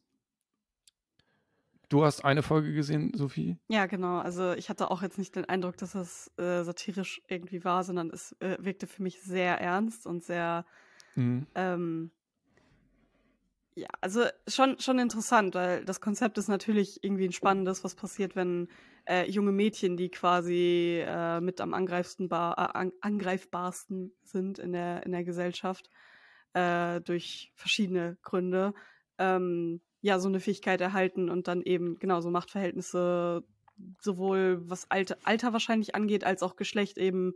Ähm, nee, ich, also wenn ich das richtig verstehe, ich bin ja, ich habe ja vier Folgen geguckt, ähm, ist es schon so eine, so eine Geschlechternummer. Okay, also ja. ähm, Alter ist nicht unbedingt, ähm, wenn ich das, ich will nicht spoilen, aber ähm, ich meine, es breitet sich auf alle Frauen aus. Okay. Ja, aber ja, umso, umso interessanter, ähm, genau, wie, wie, wie, wie das eigentlich, was das mit einer Gesellschaft macht, die äh, hinreichend oft auch als Patriarchat bezeichnet wird. Ähm, Finde find ich persönlich ganz spannend. Mir, äh, ich, kam, ich kam nicht so ganz rein in die erste Folge. Ich hatte da so, ich weiß nicht, woran es liegt, weil die Besetzung ist ziemlich gut, würde ich sagen. Mhm. Ähm, ich, ich, ich hatte irgendwie, irgendwas hat nicht gepasst. Ich weiß nicht, woran es lag. Also die Musikauswahl fand ich eigentlich auch ganz spannend. Ähm, Stimmt, ja, die war auch gut. Aber irgendwas hat nicht so gepasst. Irgendwas wirkte so ein bisschen Amateur. Vielleicht, weil die Serie sich selbst sehr ernst nimmt. Also ähm, ich habe ein paar ja. Vermutungen. Also erstmal ähm, werden es, glaube ich, neun Folgen werden. Neun, es werden neun Folgen, so. Ähm, dann sind es ja sehr viele Handlungsstränge, weil also dieses Aufkommen dieser neuen Gabe, in Anführungszeichen, äh, findet auf der ganzen Welt statt. Also wir haben sehr viele verschiedene Personen und sehr viele verschiedene Schauplätze. Und natürlich dementsprechend sehr viele verschiedene Handlungsstränge. Und wie die nachher alle, also ich habe jetzt das Gefühl, so mit der vierten Folge weiß ich so ungefähr, wo es hingeht und kann die alle so ein bisschen einordnen. Ähm, genau. Und ähm, ein Problem, was ich sehe, ist, glaube ich, in der, in der Bewerbung beziehungsweise in der, in der Darstellung. Also, wenn man sich das Cover anguckt, wirkt es wie so eine neue Superheldenserie. Also wie, was war, was war das zuletzt? Keine Ahnung. The Umbrella Academy oder irgendwas, mhm. irgend so eine Superheldengeschichte, was es, glaube ich, aber auch gar nicht ist, was, was das Buch auch nicht war. Also, ähm, das ist ein Problem. Ähm, genau. Also es, wenn, wenn, wenn der ganze Anstrich oder das, die äußere Erscheinung ein bisschen mehr, ich vergleiche es mal mit The Handmaid's Tale wäre, wäre das, glaube ich, würde die Serie anders aufgenommen werden. Mm, mm. Vielleicht. Ah, ich bin sehr, sehr gespannt. Ich habe die Folgen alle ähm, mit sehr, sehr aufmerksam geguckt. Ähm, ja, ich fand es spannend. Spannend ist auch, ich gucke mir ja auch manchmal gerne so äh, Bewertungen an. Hm, ähm, ja. So bei Metacritic und so. Und da ist mir bei, bei IMDB, also insgesamt hat die äh, sehr durchschnittliche Wertung. Also, und durchschnittlich heißt da bei Bewertungsportalen immer schon, ist nicht gut. Also, wenn irgendwas so eine 5 hat von 10, ist immer schon, ah, das ist irgendwie nichts. Ähm, weil so, ich sag mal, Durchschnitts, äh, Serien wie jetzt, ich, Chuck, du hast, glaube ich, The Night, Night Agent vorgestellt letztes Mal, was ich vollkommene Durchschnittsserie, so, die kann man so weggucken, da passiert nichts mit dir. Die kommt so auf eine 7, 7,5, so, ne? Alles, was über 8 geht, ist schon mal, ist schon mal ein bisschen außergewöhnlich. Über 9 schaffen nur wenige, so wie Last of Us oder so. Ähm, deswegen gucke ich da mal ganz gerne rein und ähm, The Power hat aktuell bei IMDb eine 5,8, was mhm ne, unterdurchschnittlich ist, würde ich jetzt mal benennen. Wenn man aber, man kann bei IMDB auf die Wertung raufgucken, dann wird es aufgeschlüsselt. Ich weiß nicht genau, wie, wie genau die das, woher die die Daten haben, weil man ja auch, nee, man muss, glaube ich, angemeldet sein zum Bewerten, ne? Egal, auf jeden Fall wird es aufgeschlüsselt und zwar nicht nur nach den Ratings, was auch schon spannend ist, weil 25% geben dir eine 10, 19% geben dir eine 1. Also völlig auseinander. Wenn man sich eine normale, normale Bewertung aus, anguckt, ist es immer so ein, so ein Berg. Also du hast Ja. immer irgendwo einen Peak und, und da gleicht sich das immer so ein bisschen an. So, so, so, so ein Berg. Hier hast du keinen Berg, hier hast du quasi so ein, so ein Tal. Das finde ich schon spannend. Und es wird, wird noch weiter aufgeschlüsselt nach Alter und natürlich nach, nach Geschlecht. Mhm. Was auch Aufschluss gibt über. Mhm. Ich glaube, es gibt viele Männer, die die Serie einfach scheiße finden und den, der einfach einen Punkt geben, weil sie, weil sie da schlecht bei wegkommen oder Weil es um Frauen weiß ich geht. auch nicht. Weil es um Frauen geht. Weil es genau. woke, ein wokes Thema ist. Also ich habe Das, das, auf jeden Fall. also ja. ich habe nämlich auch, ich habe die, die Serie äh, aufgerufen und mein Freund war so, ach was, die hat nur 5,8, ja weiß ich jetzt nicht, ob ich das schauen will. Und ich war so, ja, aber es geht um Frauen. und dann war so, ja, hm, das ist fair. Wahrscheinlich liegt das Aber- nicht an dem, nicht nur an der Qualität. Aber kommt für euch nicht jetzt dieser neue Barbie-Film da ins Kino der- im Sommer? Ist da nicht irgendwie. Reicht das Oi. nicht? Euch Frauen. Also ich habe Bock, den der- zu gucken. Ja. Der ist, der ist von Greta Gerwig, ne? Also der hat auch, der hat, der hat das, das, der hat, glaube ich, satirische ähm, Anla- Ich weiß nichts darüber. Ich wollte nur einen Billing-Gag machen. Ich meine, Ryan Gosling ist Ken. Ich glaube, das. Die sind alle Ken. Also ja, ja, aber schon- Ryan Gosling ist der, der Ken. Mhm. Der Haupt-Ken. Ja, ich glaube, Barbie ähm, wird nicht so schlecht, wie viele vermutet haben. Also ich glaube, der wird ziemlich gut, actually. Also ich. Ich habe Erwartungen an den. Hm, okay. Oh, apropos, das habe ich, hab ich gar nicht hier in der, in der Liste erwähnt. Habt ihr den Mario-Film schon geschaut? Habt ihr Nein. den geguckt? Du? Sollte ich, nicht gucken? den am, Ich habe den am Donnerstag äh, direkt geschaut, weil äh, wir kamen aus dem Urlaub wieder und dann hatten wir den Abend frei und waren so, ja, auch eigentlich, warum nicht? Der kommt doch heute raus. Ähm, ich fand den fantastisch. Äh, liegt natürlich auch so ein bisschen dran, dass ich damit aufgewachsen bin, so mit der, mit, mit, mit Mario. Mhm. Aber ähm, der, ne, von so von der Handlung kann man jetzt nicht so das, die, den größten Wurf erwarten, finde ich aber auch nicht, dass es unbedingt Klem sein Klempner muss. sucht Prinzessin? Oder? Äh, nee, tatsächlich, äh, Klempner sucht seinen Bruder. Ha. Und Prinzessin sucht einen Weg, ihr Land zu retten. Also äh, ist schon ein bisschen moderner, sag ich mal, als das alte Konzept Klempner rettet Prinzessin. Ähm, Pe Peach wird nee, zu aber der Zelda? ist, der ist Nein. Anderes Franchise. Nee, aber aber Ähm, Zelda ist auch mal die nee, Prinzessin, die ihr Land retten möchte. Ja, ja, fair eigentlich, ja. ja, tatsächlich, ja. Aber sie, sie wird zumindest nicht in Kristall verwandelt. Das, Ja, Okay, gut. das hilft schon mal äh, bei dem Film, würde ich sagen. Ähm, nee, der, ich finde den, der ist fantastisch gemacht. Der macht einfach Spaß. Also ich finde das, dann, dann, das ist so, ich finde äh, Avatar zum Beispiel ähm, ist ein guter Beweis dafür, dass die Handlung gar nicht so doll sein muss, aber der Film kann trotzdem Spaß machen. Ähm, weil die, die Action irgendwie super ist, das, das Pacing macht Spaß, also man langweilt sich nie. Ähm, die Musik ist großartig, wenn man auch nur ein oder zwei äh, Mario-Spiele gespielt hat, denkt man sich so, oh, den Song kenne ich und äh, also es ist so super liebevoll äh, eingebaut und ähm, ja, der ist, äh, ich fand, der hat Spaß gemacht, so, den kann man auch gucken, wenn man erwachsen ist, den kann man gucken, wenn man, wenn man ein Kind ist. Ähm, Aber also ich habe auch gehört, dass er gut sein soll. Mhm. Ähm, ich habe jetzt aber überhaupt gar keine Berührungspunkte damit. Ich ja, glaube, dann, dann, ge- ich habe, glaube ich, auch mal irgendwie die ersten Minuten von so einem Sonic gesehen und war so, hä? was, da, was soll das denn? Und so wird es Ja. mir wahrscheinlich mit Mario auch gehen, weil ich. Ja. Hm. Aber ich habe auch gehört, dass er auch also viele Gags und viele, viele Meta-Witze und Mhm. so hat. Ich wollte eigentlich letzte Woche, hätte ich zum dritten Mal im Kino sein wollen, nachdem ich ja Terminator 2 geguckt habe, äh, dann mir irgendeinen so einen Exorzistenfilm in der Thrill Sneak angeguckt habe, wollte ich eigentlich äh, noch den, den Dungeons and Dragons gucken. Da, dazu ist es aber leider nicht gekommen. Der soll ja auch der ganz gut sein? sein. Ja. Ah, okay. Hm. Na gut. Ich habe was geguckt. Also doch. Auch. Nicht nur das Steve Jobs Buch gelesen. ähm, Alex Gibney hat, ich weiß nicht, wie viele großartige Dokumentationsfilme ähm, gemacht. Über, ich weiß, Scientology gibt es einen, es gibt einen über WikiLeaks, es gibt einen über, über Steve Jobs, The Man in the Machine. Ähm, ich meine, er hat auch diese Sinatra-Mini-Dokumentationsserie gemacht, All or Nothing at All oder irgendwie sowas. Und ähm, naja, noch diverse andere, die mir jetzt gerade sicherlich entfallen sind, die ich auch schon gesehen habe.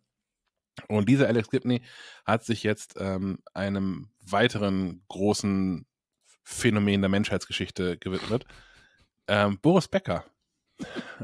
Und auch auf Apple TV Plus gibt es als, als zweiteilige Dokumentation, jeweils so um die 90 Minuten, äh, Boom Boom, The World versus Boris Becker.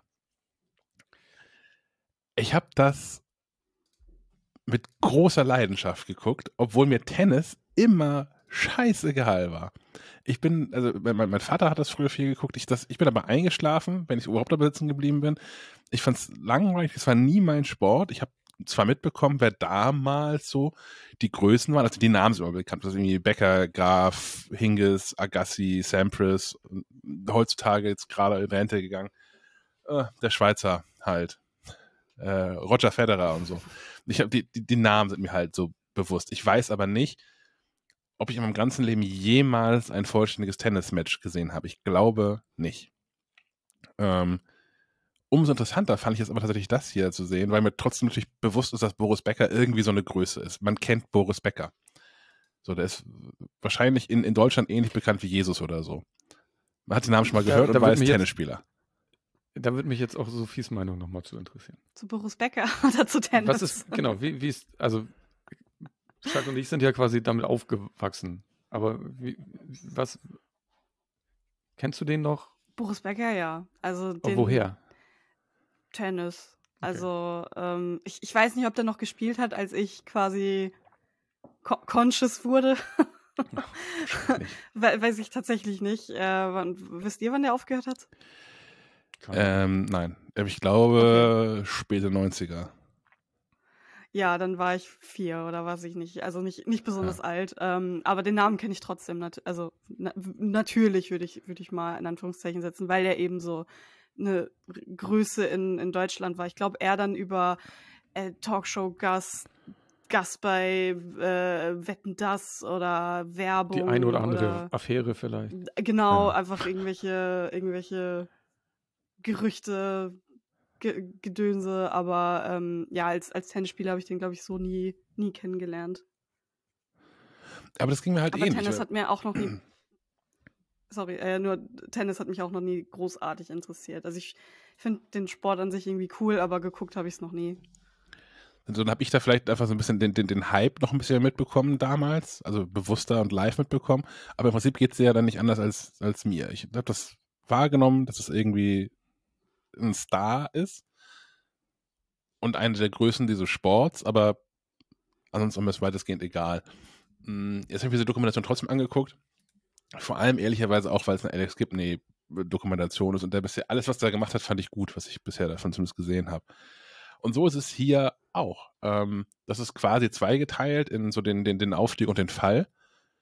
Ähm, den, den, den, den sportlichen Aufstieg mit, äh, mit 17 Jahren Wimbledon gewonnen, die Stars 1985 und alles, was danach kam. Und im zweiten Teil geht es dann eher so darum, um ähm, seine finanziellen Verstrickungen und wo er sich hier und da mal hat verarschen lassen und außereheliche Affäre und Hasse mit, mit dem äh, mit, mit Kind ja sogar und ähm, was da so. Von daher, den, den zweiten Teil fand ich an und für sich von, vom, vom roten Faden her langweiliger, weil mich der ganze Gossip-Kram nicht interessiert. So, mir ist es irgendwie. Mir war das auch egal, dass der jetzt im Gefängnis saß für ich weiß nicht, wie viel, wie viele Monate zum Ende waren. Das ist, mir- das ist mir egal. Das ist irgendwie, was Leute in ihrem Privatleben machen, ist mir weitestgehend egal. Ähm, aber habe den zweiten Teil trotzdem ganz durchgeguckt, weil es natürlich auch immer verflochten war mit Rückblenden dann äh, in, zu, zu, zu sportlichen Events. Mm, Boris Becker selbst ist da sehr lange im Interview, zu zwei Zeitpunkten auch.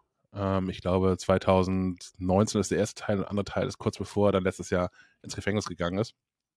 Äh, ein paar Tage davor tatsächlich.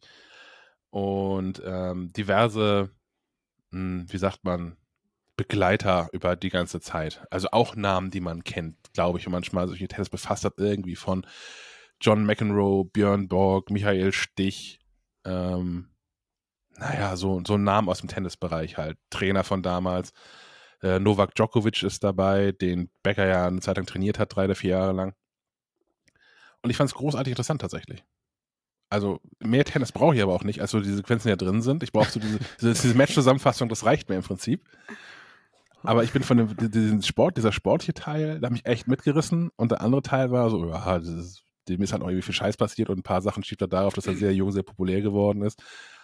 Äh, und ein paar andere Sachen denkst du, ja, Mann, aber das ist halt auch 30 Jahre her, dass du, naja, 35 Jahre her, dass du sehr jung, sehr erfolgreich geworden bist. Man hätte ja in der Zwischenzeit dazulernen können. Ähm, hat er sicherlich hier und da auch. Was mir dann noch aufgefallen ist, und weswegen ich das auch eine Empfehlung finde, ist, ähm, Boris Becker ist ein guter Geschichtenerzähler. Ähm, ich, ich höre total gerne zu, wie er Dinge erzählt. Klar, das wird dann auch alles ein bisschen eingefärbt sein und nicht zwingend objektiv sein, wie er Geschichten erzählt. Aber erstmal ist er ein guter Geschichtenerzähler. Auf der anderen Seite ist mir natürlich auch egal, so, weil es natürlich nicht, also mir ist es egal, dass es nicht 100% der Wahrheit entspricht, was er erzählt. Nicht, nicht entsprechen kann, das ist kein Vorwurf, aber so man die eigene, das eigene Leben Revue passieren lässt. Ich weiß nicht, wenn, wenn ihr euch an Dinge zurückändert, die vor, ich weiß nicht, 20 Jahren stattgefunden haben oder so, ich weiß nicht, wie wahrheitsgetreu das alles so wäre. Ob man es versucht. Ist, ist ein großes Loch. Ja, also äh, von, daher, von daher kein Vorwurf, was man guter Geschichten erzählt, das hat mir ganz gut gefallen. Und ich habe daraufhin tatsächlich mir auf YouTube ein paar Sachen angeguckt von ihm, weil der auch jahrelang für, ich weiß nicht, ob es die BBC ist, aber britischer Sender jedenfalls, ähm, Tennisübertragung kommentiert hat. Und ähm, das macht Spaß. Also ich könnte mir also, vorstellen, wenn der jetzt, wenn der jetzt irgendwann rehabilitiert ist und nochmal Tenniskommentator wird, dass ich anfange, mir Tennisübertragung anzugucken, weil ich seine Geschichten hören will.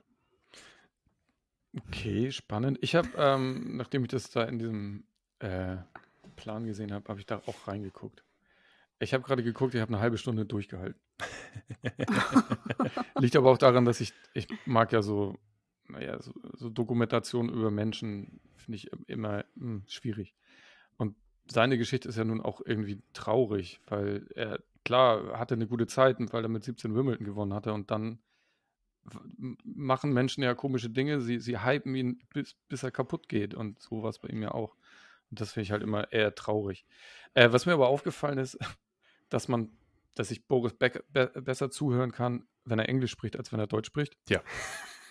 Geil. Das ist irgendwie interessant, weil wenn er, wenn er auf Deutsch irgendwas, oh nee, er hat ja auch eine sehr, eine bestimmte Stimmfarbe, die ist ja schon sehr markant. Und wir sind ja mit Werbung aufgewachsen und dann kannst du das einfach nicht mehr hören. So, ne? Der typische bin ich schon drin Satz. Hm. ähm, ja, das stimmt. Das auch auf, auf, Deutsch klingt, also auch wenn er frei spricht, immer so ein bisschen fahrig, finde ich. Und immer ein bisschen, tut mir leid, aber er klingt immer ein bisschen dumm. Und auf Englisch klingt er so sehr, sehr bestimmt und klar. Ja, hat einen klaren, äh, erkennbaren deutschen Akzent, aber er ist, genau, aber es hat alles Hand und Fuß dann, ja. Ja. Hm. Naja. Und das, obwohl er ja, ähm, Teil, Entschuldigung, aber das, obwohl er ja auch, äh, das ganze Interview ist auf Englisch geführt und er da ja auch Teil so, so emotionale äh, Phasen drin hat wo er, glaube ich, nicht kontrolliert auswendig seine Sätze vorsah, vorsprechen kann. So ist, das ist, glaube ich, nicht der Typ. Er ist, glaube ich, nicht der Typ, der das auswendig gelernt hat und was aufgesagt hat. Aber ähm, gerade dann, wenn es emotional wird, gerade im Positiven oder Negativen, dann, dann kippt man ja meistens so aus dem, ähm, oder wird dann automatisch in der fremden Sprache, zumindest so fahriger, dann fehlen irgendwie Wörter oder man sagt Dinge, das ist da alles nicht so. Man kann auf Englisch wirklich gut zuhören. Mhm. Und wo du eben erzähltest, dass er er kommentiert ja quasi das, also das habe ich noch mitgekriegt, äh, dieses, dieses Finale, glaube ich, ne? Da hat mir ein bisschen die Gegenseite gefehlt. Also da wäre es cool gewesen, wenn sie seinen Gegenspieler, den ich jetzt natürlich nicht weiß, wenn sie den auch noch vor die Kamera geholt hätten. Ich, das hätte mir ganz gut gefallen. So wirkte das ein bisschen komisch, weil er, naja.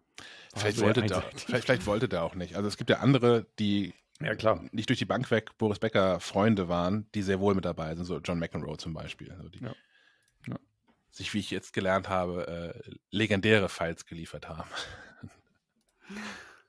und auch mit allen möglichen Psychotricks ja. und so. Das ist schon irgendwie. es gibt also ein, eine Sequenz aus einem, einem, einem, das fand ich hinreichend, also ich fand es wirklich amüsant, weil es völlig absurd ist. Aber ich habe auch immer großen Respekt davor, vor Sportlern, die sich irgendwelche Psychotricks einfallen lassen, um, um Gegner zu verunsichern oder aus dem Konzept zu bringen oder so. Egal, ob es beim Boxen, beim Handball oder beim Tennis ist. Und ähm, es gibt so die, die, diese eine Sequenz, wo, wo John McEnroe darüber herzieht, dass Boris Becker in, in, in wichtigen Matches, so auch in einem Match mit, äh, mit, mit McEnroe, immer so vor sich hingehüstelt hat die ganze Zeit. Und äh, John, John McEnroe das irgendwann so albern fand, dass McEnroe immer, immer dann, wenn Boris Becker vor sich hingehüstelt hat, völlig überzogen losgehustet hat. Und es gibt so eine Sequenz aus diesem Match, wo eigentlich hörst du nur das Husten von zwei Millionären, die da einfach auf dem Rasen stehen, Tennisspiel machen von mehreren zigtausend Menschen und Millionen von den Fernsehern. Und das ist schon großes Theater. Das gefällt mir.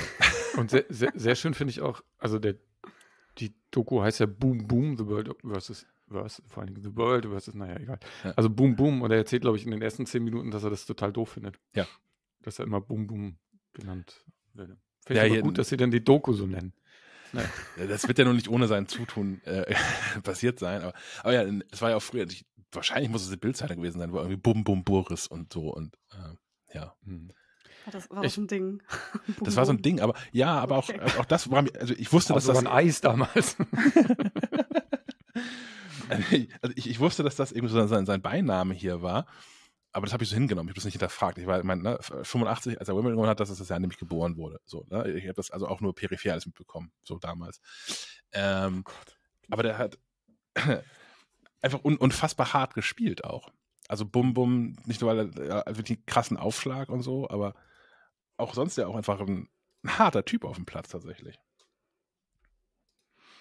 Ja. Okay. Ich, ich habe hab viel gelernt. Ähm, ich habe mir zu, weil es ja mal wieder eine Doku bei Apple TV Plus ist, habe ich mir mal kurz äh, die äh, Statistik zur Hilfe genommen und geguckt. Weil mir es vorkam, vorkam als wäre das überproportional. Und ich habe fast recht. Also filmtechnisch, Apple TV, da gibt es aktuell 45 Filme, wenn, das, wenn ich das jetzt alles richtig erfasst habe, äh, wovon 16 alleine Dokumentationen sind. Zwölf sind Drama und der Rest ist so irgendwie, verteilt sich auf Sci-Fi, Komödie, Thriller und Weihnachten. Ja. Ähm, Action gibt es nur einen. Ähm, und bei, bei Serien sieht es ähnlich aus, weil da gibt es auch viel Doku. In, insgesamt gibt es 103 Serien schon, hätte ich auch nicht gedacht. Aber ja. Mhm, davon sind 21 Dokumentationen sind dabei. Das ist nicht mhm. wenig. Äh, 25 Kinder und Familie, ja, da haben sie auch viel. Und 23 Drama. Ist also so ein Drama- und Doku-Sender geworden, offensichtlich.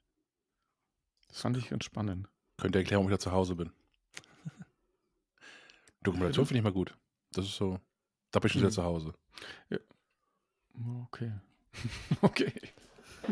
Hast du denn alle, nee, hast nicht alle gesehen, ne? Die haben auch sehr viele so, so ich habe jetzt gesehen, so amerikanische Super League, irgendwas über Football und über Basketball haben die, glaube ich, auch noch irgendwie Dinge. Und, ja. Nee, ich weiß nicht, haben, haben die, hat Apple diese, diese LeBron James Geschichte, habe ich, hab ich das gesehen, aber ähm, sonst, ich nenne nicht alles. Früher, als Apple äh, TV Plus gestartet ist, habe ich ja wirklich alles geguckt. Da gab es auch nur fünf Sachen. Ähm, mhm. Und es war eine ganze Zeit lang so, dass man einfach alles mal gucken konnte. Aber inzwischen ist es ja doch äh, in einem Tempo gewachsen, dass ich das, nein, nicht mehr alles geguckt habe. Sehr gut. Ja. Gut, dann würde ich sagen, soll es das für heute gewesen sein. Wir hören uns nächste Woche wieder. Habt ein schönes Wochenende. Bis dann. Auf Wiederhören und ciao, sehen. Ciao.